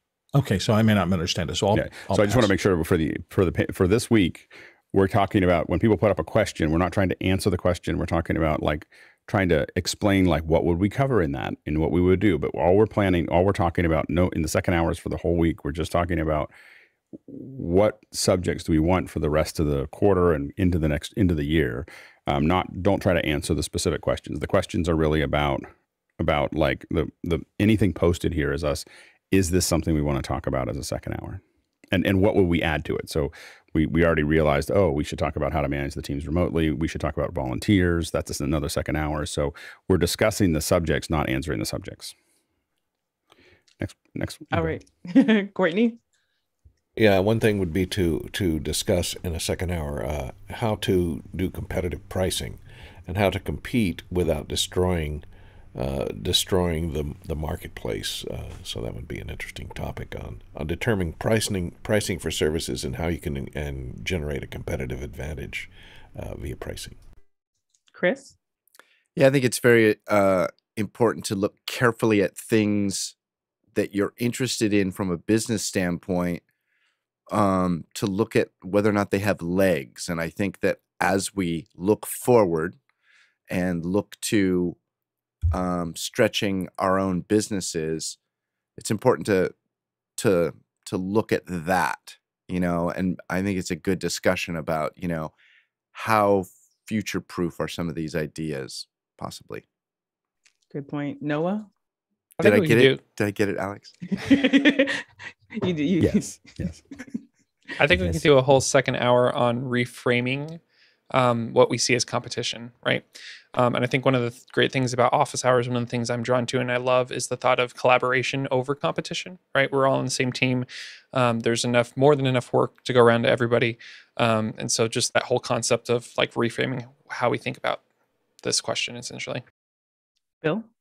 I think a discussion also of just the maintenance of client relationships. What you know, how what is going far enough, what is going too far, and how does that make you different than your competition? And what is appropriate in this new online world so that you build these relationships with your clients in a way that makes them stickier for you? Good point. Good point. And I think even looking at this question, the basis of it being a lot of times people start a business out of I do I'm really talented at being a camera op or whatnot, but then when you actually get into the business side of it, this could be an opportunity, maybe business planning or market research or kind of um, digging into that a little bit. That could be um, a way that we could attack this as well. Next question. Next one comes from Lois Richter in Davis, California. She said, What story arc would we like to have for this year? Do we want to have some second hours built upon a previous second hour? Leo. Yeah, so I think this is a really good area that we could look at. Um, it would be nice to know exactly uh, to have a list of all the second hours, maybe uh, to create something that people can vote on to say which one would they like to f- take forward. Um, wh- um, and e- and even what you look at when something that's changed so dramatically as three months or six months ago, how that has that story has changed quite a lot since that time. And so being able to I think this is something that I'd like to see the community get involved in saying these were the top ones of the second hours, these are the ones that they were really interested in, and these are the ones that they would like to hear an update on. And it would be nice to get that feedback and uh, see what they think. Hmm, that update. That's a good uh, good keyword there. Ari? Uh, when I looked at uh, this question, the word that popped out for me is uh, vision.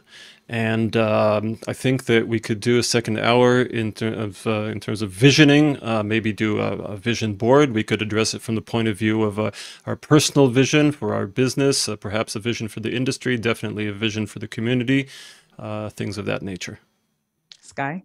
Well, what stuck out to me, of course, is that that Lois said story arc. You know, you had me at story arc because, again, regardless of all of the equipment that we have, what we originally started with is a story, and so uh, I I follow a belief of story first, and so I would love to continue a, a a, deeper dive of the different types of stories because there's a difference between a narrative and a documentary and a, and entertainment versus conversation.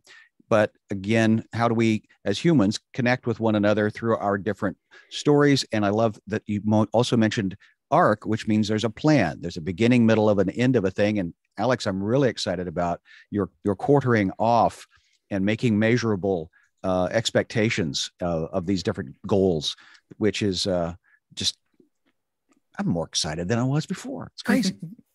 Alex. Well, i- i- and that's I think kind of what I'm trying to do when we talk about story arcs of thinking about that we really start to think about different Monday, like the first Monday of every of everything is an artist, you know, is a musical artist, and the second one is someone that's going to talk about storytelling or talk about how they develop things, and a third one is a something, you know, like so we talk about art in a different way on Thursdays, but each one is has got its own little arc to it, um, as opposed to just something in that larger bucket. Um, there's some problems with that in the sense that it's harder to schedule to some degree, but there are advantages into that it's easier to come up with 12 ideas instead of 50. So, um, so you you kind of uh, can kind of think through that as well. Chris? if we look at stuff that's happened already in office and after hours you know we've seen you know tuesdays has been this great collection of audio people and you'll even hear people will say when they're logging on oh yeah you know i wanted to be here because you know it's tuesday and regardless of how um or you know uh, education on saturdays and cooking is now sunday i guess so um but if you regardless of how careful you are in terms of like publishing what you plan on doing on any given day, those habits are more are much more powerful than a published schedule. And so as we plot out our story, um, I think that having those hard, fast, almost rules like Tuesday, audio, done, um, it has a great way of getting like fringe people who don't pop in all the time, who probably aren't reading Office Hours Global every morning as they roll over. Um, the travesty. It's it is a travesty, uh, but those habits are super powerful. You know, uh, I know when I was podcasting, I always I always released a new show within about an hour of you know my published time, whatever, and it the it just helps people with their habits. Alex, I'm sorry. Yeah, and I think that the, the key is making sure that it's sustainable. One of the reasons, for instance, that we're combining video and audio is that it was hard for me to come up with video and audio subjects, um, you know, each week, so of new ones. Um, so uh, and and I felt like they were actually more related to each other. And the reality is is that we uh, we had a really good collection of audio folks, and we still have a good collection on those Tuesdays, but it wasn't as it just became not as deep as it was before, um, where we had you know eight or nine people who were really deep into that process. Everyone just got busy. Um, and so it just became harder and harder for me to sustain. That was the, I mean, that's the reason that we're making the shift is that I had to keep on coming up with stuff. And again, it's easier for people to suggest what we do, but we have to, we, ha- when we think about these, these days, um, you have to think about, uh, number one, is that something that everyone will be interested in? And that people can say what that is. And sometimes we take risks anyway, and, and we're surprised or not. Um, number two is is the company able to can i get a hold of the company to have them do it or the individual? Um, so can i get a person to come for that day? Um, and when i when i when i say that an appropriate person someone who like a good example is um, i think that the folks from parsec we're going to have just a salesperson come and I was like, this isn't the place for that. like we need a technical person.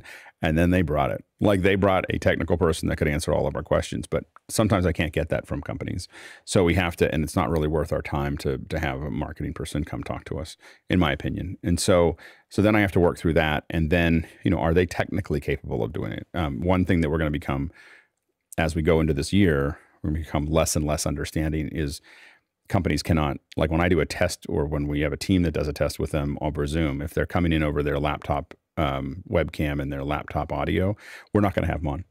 like, like, like, like, that's not like, that's not gonna that's not gonna fly anymore. And so um, so that's the uh, so those are the kind of things that there are a bunch of other logistical problems that we have with these, and so I need a little bit more room to work to make sure that we can achieve those. Next question, Guy. Oh, sorry, just total last minute. It just kind of dawned on me that the evolution of the the AWS sessions was kind of like a a setup in use and then output. So it, having a three week thing, which the one that we did for AWS, I mean, a lot of you don't know, but we we, we were burning so the midnight good. oil. Uh, you know, we were rehearsing that thing. There was three of us in a breakout room, sometimes five of us. And we're just, you know, going through it and going, do you really want to show that? Is that taking too long? You know, we had timers going and it got intense. But is there subjects like that where we want to spend three three weeks? To me, is a, is a, a nice round number, and it is an evolution. Like some of this stuff is just going to be changing so fast. You know, it's like what you said two weeks ago isn't going to be the same answer that you would give today. So it's it's always evolving, and I think that's the great thing about office hours. So I think um, when people, I, if it's okay, I talk again. I think that if people uh, want to. Um, if we have people that are willing to do that kind of work, my what I always worry about is making sure we don't burn people out, you know, so that we have people who are, you know, putting a lot of time in. And I want to make sure that we're not, I mean, I think that the AWS is, was an example, some of the best second hours we've had. Um, but I also think that there's, there's also an opening for just, I think having those, I don't know if I want to do them three weeks in a row. I think today I'd think about doing them th- every, like the last Friday of every month, you know, and then have the one before that or the one after that one be general q&a about aws i mean we're definitely going to talk about it but i would spread it out over time a little bit more to let people absorb it let people ask questions let people you know that kind of thing or or take the same subject and say we're going to talk about something for 15 minutes or 10 minutes of to get back to the story arc that lois and sky were talking about is that we're going to work you through a project you know there um, over time or talk about things over time. I also think we'll end up using after hours more for like like the way we're using it for Isadora, you know, and you know where we're going to just spend an hour nugging through it, you know, like all together. And I think that there's a power to that as well. So I think that using office hours for more than kind of that, we're all going to do it together and walk through it, and then the second hours is really a we, we just want to make sure. I think that the best second hours for the most part with the exception of AWS, which was really packed with a lot of information. The problem for me with the AWS ones, it was really, really good and it was really packed with information. And I had a hard time absorbing all of it because I just didn't know enough. So after the first 15 minutes, I was, you know, my, my, uh, my cup runneth over. you know, like, you know, so I didn't like, you know, so, so I was just kind of like, okay, I don't really like, I'll have to come back and watch this later. And so I think that looking at how do we set something up where we have 10 or 15 minutes of a presentation and really like the thing I'm going to really work on is 15 minutes is like the hard stop, you know, and, and, um, you know, for presentation. So when people design something, just design it for 15 minutes. But the goal of that 15 minutes is to expose someone to something new and to generate conversation, you know, and, and, and that's what we do. And, and, and so we're not trying to fill an hour of content. We're really trying to fill, and this is something that I, it took me a long time to learn. Uh, I, I've talked about this before, but I think it's um, pertinent to this conversation is that when I was on um, with uh, Call for Help and on before that on Screensavers with Leo, I had seven minutes. You know, it was a seven minute window, six and a half, seven minute window. I used to try to pack 20 minutes into seven minutes. Like, how do I talk faster? How do I da da da? How do I do all this stuff? And I kept on trying to figure out. Bert Monroy had, and I had the same conversation because Bert was just like he would just practice it over and over again and just be able to do it. But it was happening so fast you couldn't understand what he was doing. What I learned to do was take a project and cut out all the extraneous stuff to where I could do it in three and a half minutes comfortably. So three and a half minutes comfortably. Now what I could do is I could sit and have a conversation with Leo. Like I could just I could show and there's just a lot less steps. Oh, let me show you how to do this. And then I'm gonna do this. And and it was easier for me to prepare because there was a lot less to do. And it was easier for me to work through and it wasn't as fast. And so I think that that's when we think about the second hours, we'll have a lot of conversation about the structure of them. What I what I'm gonna hope that we do is really aim for that presentation to be seven to 10 minutes with a 15 minute hard out. And that's all we're going to, you know, like we're going to do that. And then we're going to have a conversation. So anyway, that's, that's the way I would, that's the way I'm thinking about it right now. Anyway. Next question. Next one comes from Sky Gleason here on the panel from Seattle. He says, Crew call sheets. Are there other tools to create and distribute them other than as a PDF? This may be outside the boundaries of this conversation. So, what I will say is that I, uh, and and I, I think that for this conversation, Liberty, I might jump in and uh, in and out a little bit more because we're kind of discussing it. But the the um, uh, I think that call sheets is a great Friday session because that's really that's the kind of nuts and bolts that we're talking about of like you know how do we ship stuff in, how do we build our call sheets, how do we build a management style for for those things. So I think that when we talk about like how do we actually get something done, whether it's with AWS or call sheets or you know Carnets. That's like a in in my eyes. And people can you know disagree with me, but that, in my eyes, that's the that's a Friday session of like the kind of that nuts and bolts. Noah. I was just trying to think of like how to break this down into like building blocks. So for me, like a call sheet is compacting information, right? You're squeezing a lot of stuff onto a single sheet so it's mm-hmm. easy to read. So it's like we could break that down and talk about formatting and what is relevant information yep. to to do that, right? Secondly is the evolution of the call well, sheet and, of what and oh, automation. An automation mm, of the call sheets because we we do a lot of automation. Mm, yeah, yeah, definitely. And then like the evolution of a call sheet of, you know, what it what it's used for um, you know, 30 years ago versus mm-hmm. today. And um, when you have a big budget show versus a small budget show, um, as far as the distribution side of it goes, the, the digital format, right, of not having a paper copy that can't change, like maybe there's an active running call sheet. Um, but yeah, PDF is another, like it's just the standard right now to send that out um, because it's like a final finalized version of that call sheet. Ari? Well, other than the obvious answer, then, uh, which is uh, yes, uh, Google Sheets, of course. Uh, I think that there's a second hour here in procedural things, which are non-technical uh, in nature. Many, many things like this, tools and procedures, and that would be a wonderful second hour. Courtney. Yeah, I agree. Uh, a lot of productions these days are, are very concerned about security, and that would be another thing that, how it relates to distribution of information amongst the crew. They're very paranoid about uh, releasing this information to the public, and so security tools that will secure this type. And there's you know like this there's a six best production management software on this website here. That might be a good topic to, to look at production management software. There's software tools available for film and television production that cover not only call sheets but distribution of scripts, breakdowns, scheduling, that kind of stuff. It's a, it's a whole topic of production software. Yeah, and that could be consistently, uh, maybe even quarterly, something like that. David? Yeah. Um, early on in the pandemic, we looked at a few products like that trying to pivot into it. There are some commercial ones that would make good topic of discussion but also um, to think of a bespoke homebrewed thing web based with security much like mukana and all the layers of um, barriers to entry is it? I forget the, the term but you know whatever that may be could be uh, leveraged to our benefit. And alex? I think i already jumped in Okay, Sky. Yes, and so did I. I, I when I asked this question an hour ago, I didn't realize, but I love that we're we're thinking outside the box. Awesome. Thank you. Next question. And it comes from Liberty White at Atlanta, Georgia. The new year is a good time to go back to basics. What about an introductory series to film streaming and broadcast? And what other verticals would anyone add? Leo. So I would also add in uh, houses of worship because that's an area that is uh, uh, an area that a lot of us deal with. I'd also look at sport, um, and I'd also look at some of the other things where there is we have some key people who've got involved in different marketplaces, and I think sometimes when you see the application delivered in another marketplace, it really opens your eyes up to how those things can work in a different environment and what you can learn from that. And I think that's always been something that I found fascinating in the second hours. Noah? I love knowledge. There's so much knowledge. um, IT, right? So that side of stuff is still foreign to me mostly. REMI production as a whole, um, company culture, um, and AWS for dummies like me. Plus one on the company culture. Alex?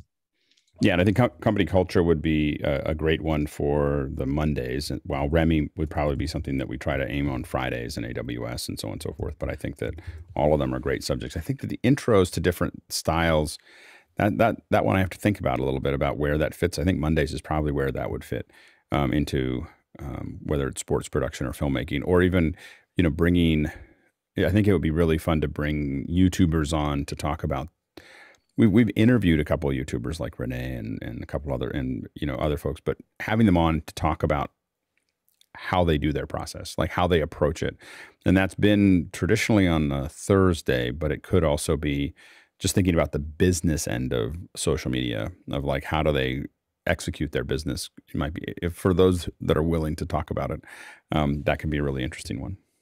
Bill. I'm just going back to my early days with users groups back when I started first learning computers. And it was interesting watching the arc of people coming in without knowing much, the community gathering together, everybody's knowledge increasing. But at some point, most of the people who have been around for a long time now understand all the basics. And so we always used to take a little bit of time at the beginning to bring the new people who were always coming in for whom the discussion was way too advanced.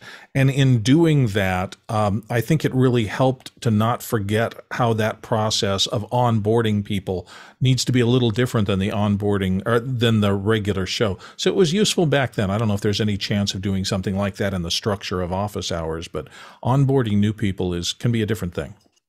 Very true. Sky? Well, again, outside of a theater, you would normally see the two drama masks of comedy and drama. And so I'm, I'm curious about these, as Alex said, the different styles of comedy, drama, musical, uh, lecture. Uh, and again, there's there's as many different categories that that we're not discussing that are not technical. Other than I watched an old Transformer um, in a movie the other day, lots of hard fast cuts because they were trying to create energy. Uh, in in tension in a kung fu movie, and that's an entire style and a genre there too. So the word style into this conversation is all the different categories of different styles. Rupert? In terms of verticals, and as we think about these different um, ideas and planning for second hours, maybe, or just a quarter ahead, it um, it's probably true that the Saturday second hour is going to remain as education, though, and so we may want to also think about not not forget that as a vertical and if we are going to structure some content or you know find vendors or or guests or whatever it is to um, remember that and not forget to um, try and uh, line up some perhaps structured content or in- introductory materials or pathways in for um, that part of the community also. Yeah, very good point. EdTech is a vertical in and of itself. Uh, David. Just thinking too about what Alex was saying, uh, a, a regular day where it could be built upon over the month. So Monday, day one would be basics of framing. Monday, week two could be basics of composition. It's you know those sorts of things, and then build upon it into different looks, be it sports or news or ENG or documentary filmmaking, etc., stuff like that. And that would help with our our story arc, definitely. Alex. Yep. Two two things. One is we probably break that up into once a month. So when we talk about composition for a certain thing, be the first Mondays or second Mondays or whatever, and then we do it a month later. And the reason for that is that almost every single time that we've done the same subject, including my most recently my little studio thing, uh, interest falls off after the first two. So so you know like it's just like oh it's the same thing. You know to people it'll, it'll, be the same thing. And so by spreading it out a little bit, again it thinks like I'm thinking kind of like a user group where let's break it up so that there it we're change like we change the subject all the time here. We're changing the subject all the time each week. You know uh, on you know in that in that vertical so that people have kind of a a different uh, look at, at the same subject matter. Um, as far as education, that's exactly what we're going to do at 10 o'clock on, on you know, we're going to start broadcasting again for education and we're going to have technical, probably every other one of them is going to be technical. And then the other ones are going to be, we're going to try to bring speakers in. So speakers that are in ed tech to talk about what they're doing and, and everything else. And so it's really going to be more like a second hour, traditional second hour, but there'll still be two hours of us kind of talking off air and coming back up to to to make that happen. All right, next question. Leo Mendel and Pinner in the UK here in the panel says, should we create a virtual roster of production pros to deliver events and office hours style LinkedIn, if you will? Rupert. I guess we could. I mean, the power of community is obviously pretty strong. I mean, we we uh, tend to get to know, I guess, each other in in the community here, whether it be in the panel or in the in the uh, after hours or even in Discord. So I, I, think we're quite well connected. I'd just be cautious about trying to reinvent the wheel with uh, you know another LinkedIn or another network to try and uh, you know keep uh, up to date with. Out. So I just I want to make sure we were clear on what the sort of requirement and intent is and whether it's a, a value add. Alex. I think there's ways to make that highly effective, um, and it wouldn't that wouldn't uh, um, reproduce, reinvent the wheel. Um, so I think that talking, I, well, in general, from a how do we plan Mondays, I think talking about networking is is is a really really useful one. How do you meet new people? Um, as far as how to build something else, uh, it's, def- it's definitely something I think it would be safe to say that if you looked at the old Pixel Corps stuff, it's definitely something I've thought about a lot. And uh, so, um, so anyway, I, I, think that there's a lot of opportunity there. I, th- I don't think we're quite mature enough f- to turn that on yet, but uh, I think we will soon enough. Next question. Noah Sargent in Fullerton, California, up next with Could we talk about business fundamentals, small business structure, taxes, marketing, clients relations, HR, and so forth? Nigel?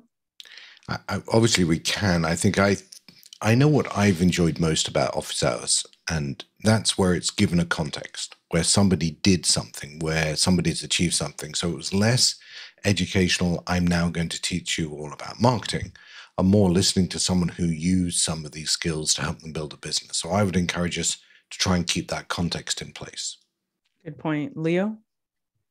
Yeah, and building on what Nigel said, I mean, there, there's a lot of people out there that can talk to you about these certain skills, big skills, and I just wonder if we start drifting into this, we will lose focus on what we're actually, what our core fundamentals are. Um, and also, you've got to bear in mind that a lot of those, uh, many of those things are dependent upon the marketplace that you're in. So you're going to lose uh, a lot of uh, people when you start talking about different parts of that because it won't be relevant. Yeah, and as long as we, like you said, focus on the context of the folks that we're serving, the community that we're serving, um, hopefully that will be helpful to many. Rupert? Yeah, and, we would want to be careful that um, you know some, there are some sensitive subjects in there. So I'm sure there'd be uh, plenty of sources of opinion and conversation, but that wouldn't want to be confused with you know guidance or advice in some of those sensitive areas. And we'd also want to make sure that we are um, creating an environment where we don't we're not going to create an environment where somebody may say something by mistake, particularly in a uh, live environment. Ken. Yeah, I'm following what um, Nigel and others have said on this. I think this is much more of a after hours, maybe kind of subject. I mean, some of the basic fundamentals, yes, maybe enough for a second hour, but I think um, a lot of these work better when people can give real examples of how it works for them or what they're not working for them. And some of those subjects might not be something you'd want, to, you know, recorded. Courtney. Yeah, I agree. The the problem uh, is legal liability varies from country to country and even state to state as far as you know hiring practices and labor relations and uh, and even business practices, business structure varies from country to country and state to state. So it'd be tough to kind of do a universal discussion of this or best practices when well, something you suggest may be illegal in another country uh, or another state. Sky. I hadn't I hadn't I was so positive about yes, I need this information too, Noah, that I hadn't thought of these other collateral damage issues that that these other wise people have brought up. And the word that I want to bring to this conversation is is uh, accountability groups.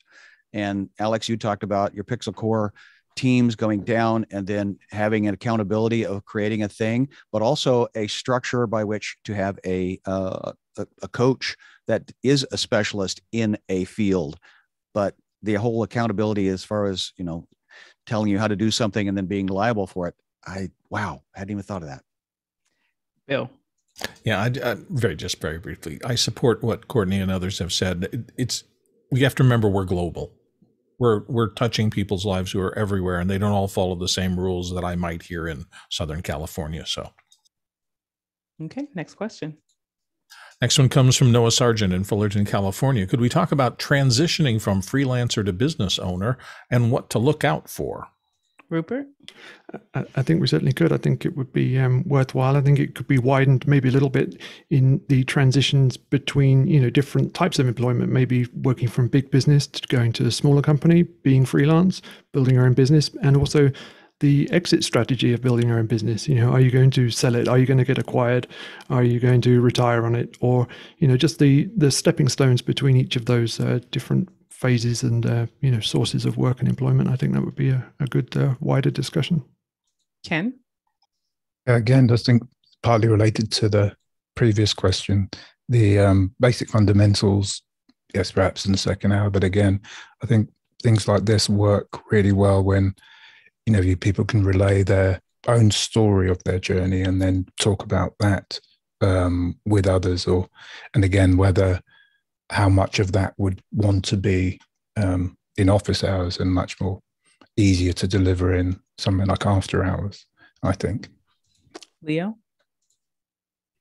I'll take that slightly further. I think this is a much better subject to be done in Tony Mobley and something like this. Uh, subjects where you can actually talk about the personal involvement of people and you get the story out that way and you can see the, how the relationship of everything builds.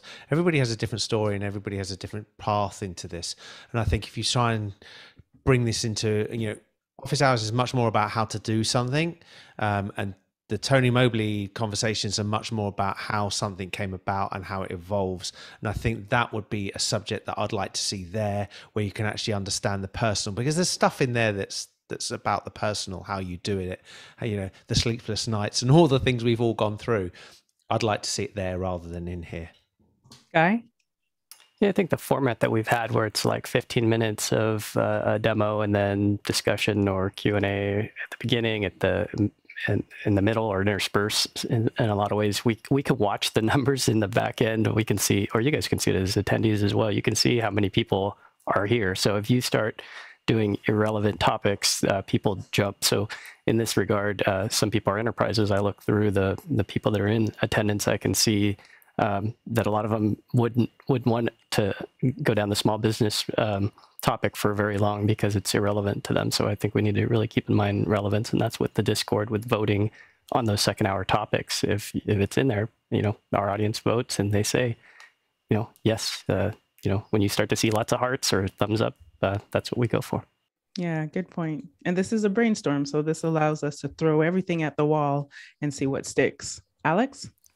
I do think that there'd be a, a, a good subject there somewhere around thing I think that we could have one things I wish I knew when I started a business because you know a lot of us that had that, that have had our own company did it kind of by accident. Like it wasn't like a you know there's some people that start it and you raise money and then you have a corporation and then you do the thing but a lot of us just were a freelancer and then we're hiring lots of people and then stopped hiring freelancers and started hiring employees. And it was you know it, there was it was a much more organic thing and then a lot of us got into it and wished we had done a bunch of other things. So I think there could be a second hour of for the business owners just to talk. Again, I don't think it's something you'd come back to over and over and again, but I think that there's a second hour that a bunch of people would show up. And, and the thing to remember is, is that one of the things I'm looking at, and the reason I'm trying to create as much diversity as possible between week to week, is that every second hour what i am learning is people are habit driven to go oh i'm going to do that but but actually the number one driver uh, of attendance is what we put into that email. Like I'm just I can just tell you that you know the email that goes out to everyone every day number one impact and if it doesn't if that doesn't call to people or they're not interested um, they don't come you know and and they don't uh, they don't show up even for the first hour. I notice it all the time. Like, oh, I'll just go, oh, that was a bad subject. like, so I measure it all the time. Like, like so if you see, see, me not do things, even though people voted on them, it's because we did one like that and it was a disaster.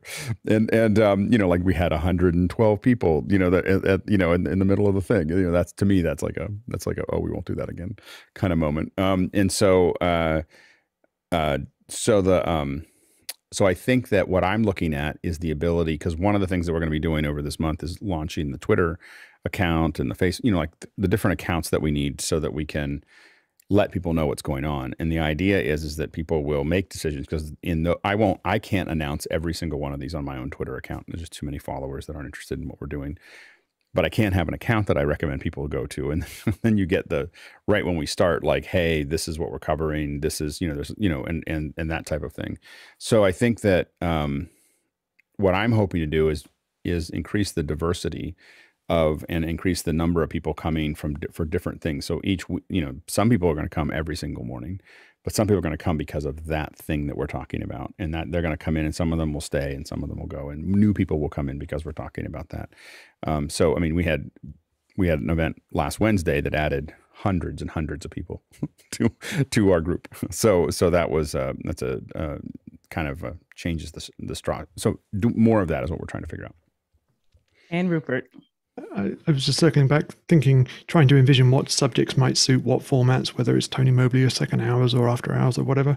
Some some of these subjects, I, I don't know whether whether they may suit a pre-record, you know, interviewed format that people can go back and watch, particularly on the sensitive areas where people might want to just double check the things that they um, they say. Maybe there's an opportunity there. I'm not sure. Okay, next question. Next one comes from Thomas Bauer in Atlanta, Georgia. Is it possible to have a Mukana like voting process for future topics so that we can see the interest in them? Sam. Uh, yeah, I think that would be a, a good idea. And Ken? Uh, yeah, I mean, it's the, uh, I do look at the, um, I think Alex around the earlier question about when subjects are come on and see what interest has spiked because um, I can see the website stats, obviously. Um, and yeah, we can do something about maybe more long term because obviously Mukana is very much more instant. So uh, maybe perhaps on the website having a bigger, um, a more long term kind of voting. So not just on the instant, something that can last the whole week that we can then see what people's interests are. That's okay. Something. Alex?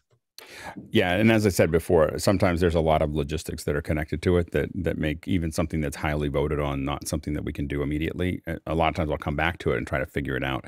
We do need a better way of kind of organizing that where maybe again what Ken suggested on the website so that I can see things persistent over a long period of time that people are voting on that we finally turn into a subject um, based on the right person in the right place. Uh, we have the right person to cover it or talk to it.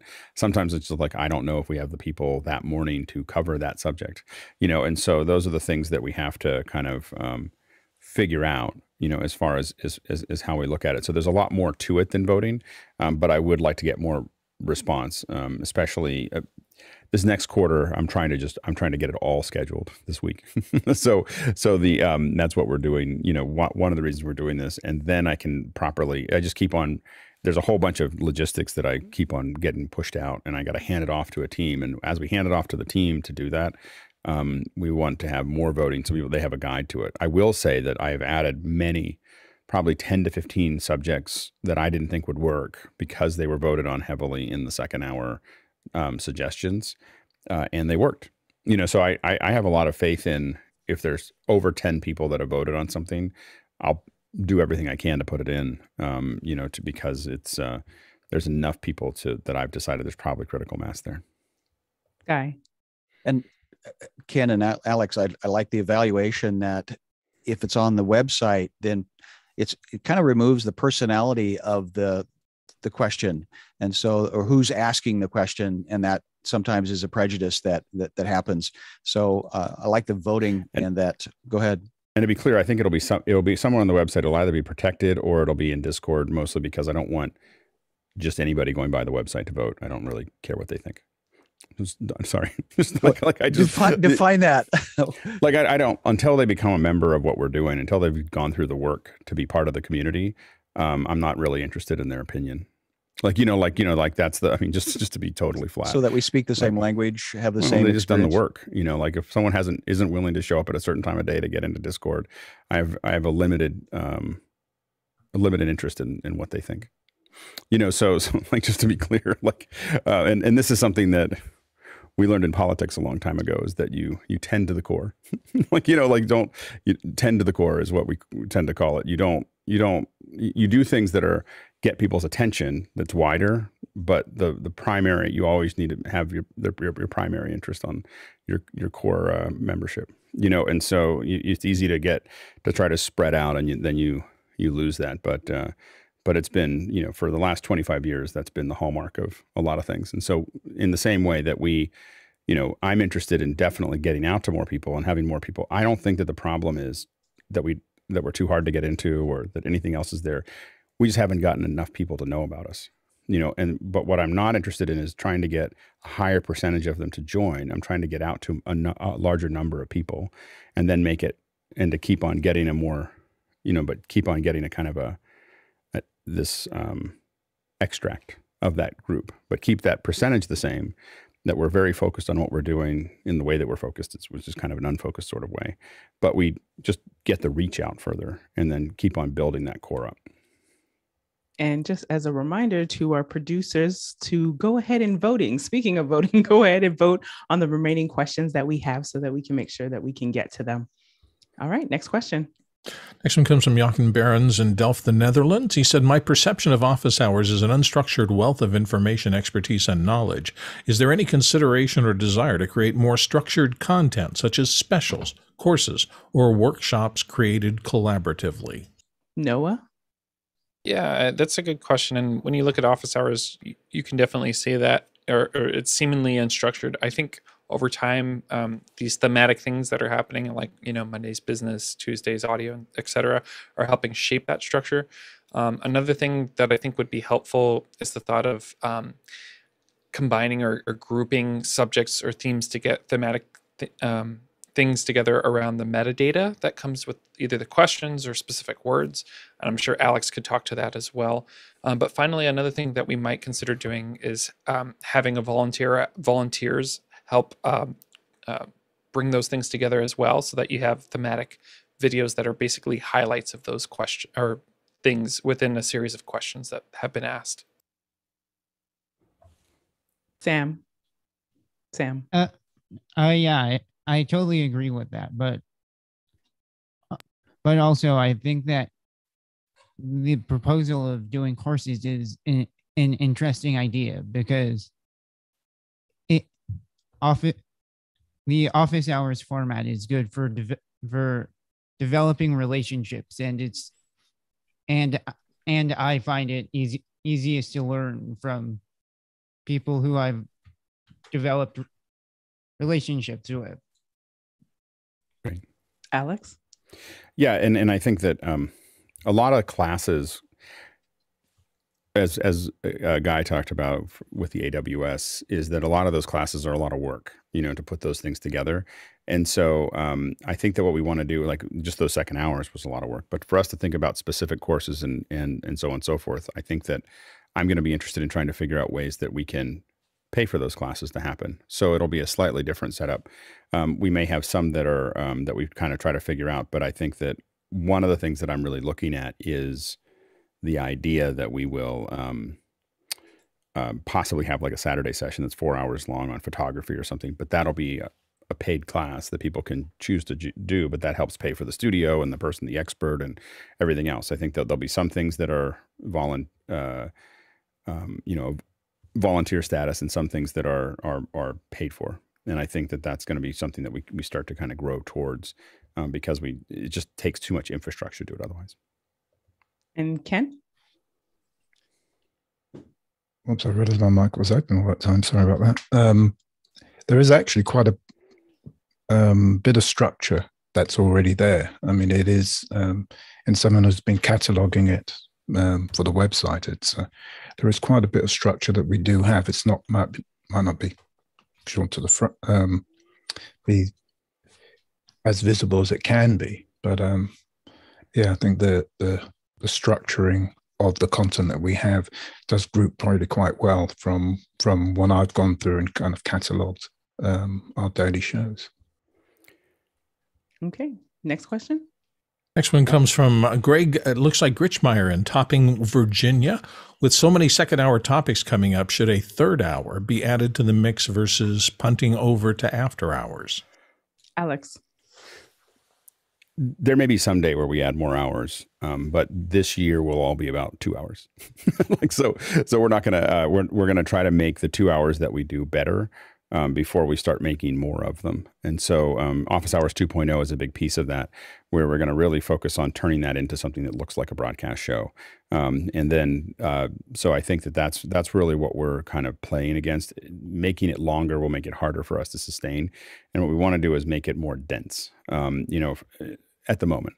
Um, uh, yes. Do I think that we could have a 24 7 network that just did this and had different second hours and discussions? Absolutely. Uh, we're not at the size yet to sustain that yet, both in infrastructure and viewership and a whole bunch of other things. And so there's you know plenty of hours and one of the things i wanted to do is get out here and just get those stirring up for each day um, today has been super useful as far as me figuring thinking through that that process um, and uh, we'll keep on doing that this week but i think that we're going to still stick with that and then use after hours again as the overflow. And um, i guess i would say more deliberative where it's much more after hours a lot of the sessions are slower and they're not you know they're not changing all the time. They're just kind of a slow discussion of working through something. And i which i i think is just a different way and in, in some in some ways a superior way to do it. In some ways not really in the same vein all right leo yeah, so this is one of those things where we're answering a direct question in this, this session. Um, I think it's always uh, quality over quantity. Um, and in my experience, that when I've done this and other things that I do, um, when you start expanding and you start running longer and longer and longer, the quality goes off. Um, and some of the shows that I do with Tobias, who was here earlier, you know, it, we found that if we actually boil it down and make the show shorter, cut it off, learn when to say goodbye, uh, you actually get a better show than if you keep going on. And I think there's enough good subjects that you can just keep going the subjects each day rather than trying to put more subjects on in each day. Good point, Courtney. Uh, yeah, and if you the the idea of going to a third hour, I would try and like to find out some way to do it, and it may be much more difficult to do with Office Hours 2.0 because of the automated structure, is to be able to change the panel at the hour. You know, if we're going to discuss specific topics in a specific hour, that the composition of the panel needs to change, just like on education days where the panel changes at 8 o'clock. Um, So to set up some mechanism to bring new panelists in, whereas rather than just have attrition amongst the panelists that are there at 6:42 in the morning to join the panel for that day. So there has to be some method of bringing new people in for specific hours that have that area of expertise. If I'm not talking about the guests that are going to be speakers for that particular second hour topic or so on, but I'm just talking about the panel if they're going to answer questions on a specific topic, uh, it might be wise to figure out some way to bring in experts just for that hour uh, into the panel itself. David?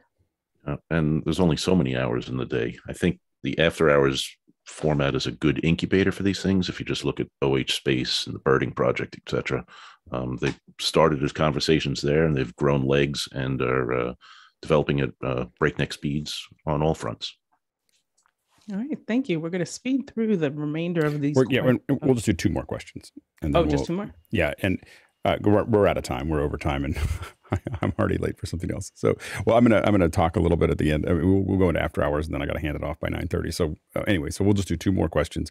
We are gonna we're not kicking these questions back to everyone, just so you know, because I'm going to go through them later and put them into my notes um, of suggestions. And so while we didn't discuss it, everything that you put in is going to be useful for me to kind of look at um, as we go forward. Okay, Guy, next question. Next one's coming in from Fred Eric Eckert in Bad Hereneld, Germany, and he's asked how to build up a service around high-end office communication. Also says setting up one-person studios, remote service to run them, delivering formats for different use cases, marketing, in-house marketing, etc. Alex. I think that's a kind of a mixture between Mondays and Fridays. Like so, the setting up of the technical setting up of the of the studios and everything else, I think, is a Friday discussion. While the like, what are the opportunities for that are kind of a Monday. So, and that could get into the when we talk about story arcs. It could be something that we talk about building studios on Friday and what we could do with them on Monday. You know, so that those things could kind of um, you know sit back to back as well. Okay, next question. Next one's in from Douglas Carmichael, and he says, What would you think of a second hour about managing and working with those on the autism spectrum or other challenges? Leo. I always like it when we do things about diversity and learning how to deal with things. Uh, none of us are experts at any of this, uh, or there are lots of people who are experts at various different things. Um, I, I, recently covered some stuff um, about how to deal with deaf people on these sort of things and it's just an incredible experience to actually learn and understand it from the other point of view how people uh, see and what you're dealing with. Um, and i think this would be a great one to be covering and understanding what's the right thing what's not the right thing. Am i too loud? I'm too quiet? Is my pit is my screen wrong? Is everything like that? Just so that i can uh, adjust to uh, fit. Sam? Yeah that would be a great idea. And ken yeah, um, accessibility isn't just a subject for people on whatever spectrum. It actually makes almost everything you do. I know in my work, everything I do, because of you know the conversation I had with Laura and others, it makes work you do better. You know, so it's not just about oh, I need to cover this because of people on this spectrum or that. It actually makes what you build and what you produce and when you even when you're thinking about it on what you need to cover. Better for everybody. So yes that that as a section as a um, as a monthly or whatever um, timing i think is a is a really is a really valuable um, for everyone. Definitely. Alex? Yeah we're definitely going to be doing some version of accessibility every month so there'll be, there'll be one month, one Friday of every of every month that, that it'll be Fridays most likely where I'll put accessibility because it's kind of a nuts and bolts of how to get something done.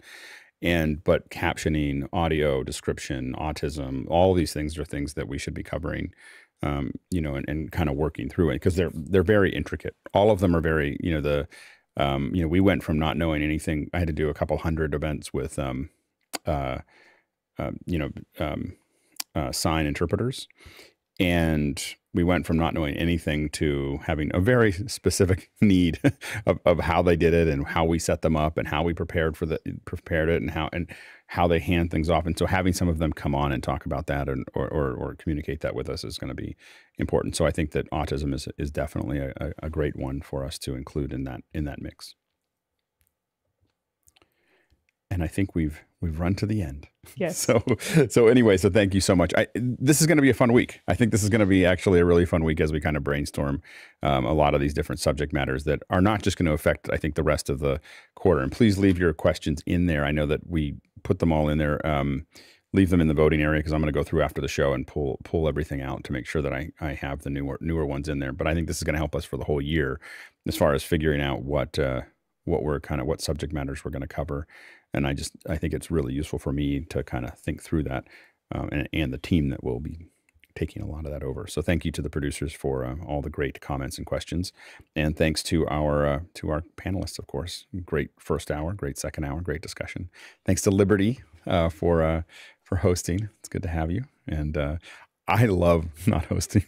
I'm learning, you know, like I love sitting there, like and and and, and having Liberty take over and, and, be able to kind of look ahead and do things. And and, and so um so thank you so much, Liberty, for uh, taking a little weight, take, taking a little of the weight and doing such a good job. Thanks. I enjoy being here. Um and uh, thanks to everybody. And we will now jump to uh, after hours. My button isn't working. Bye bye.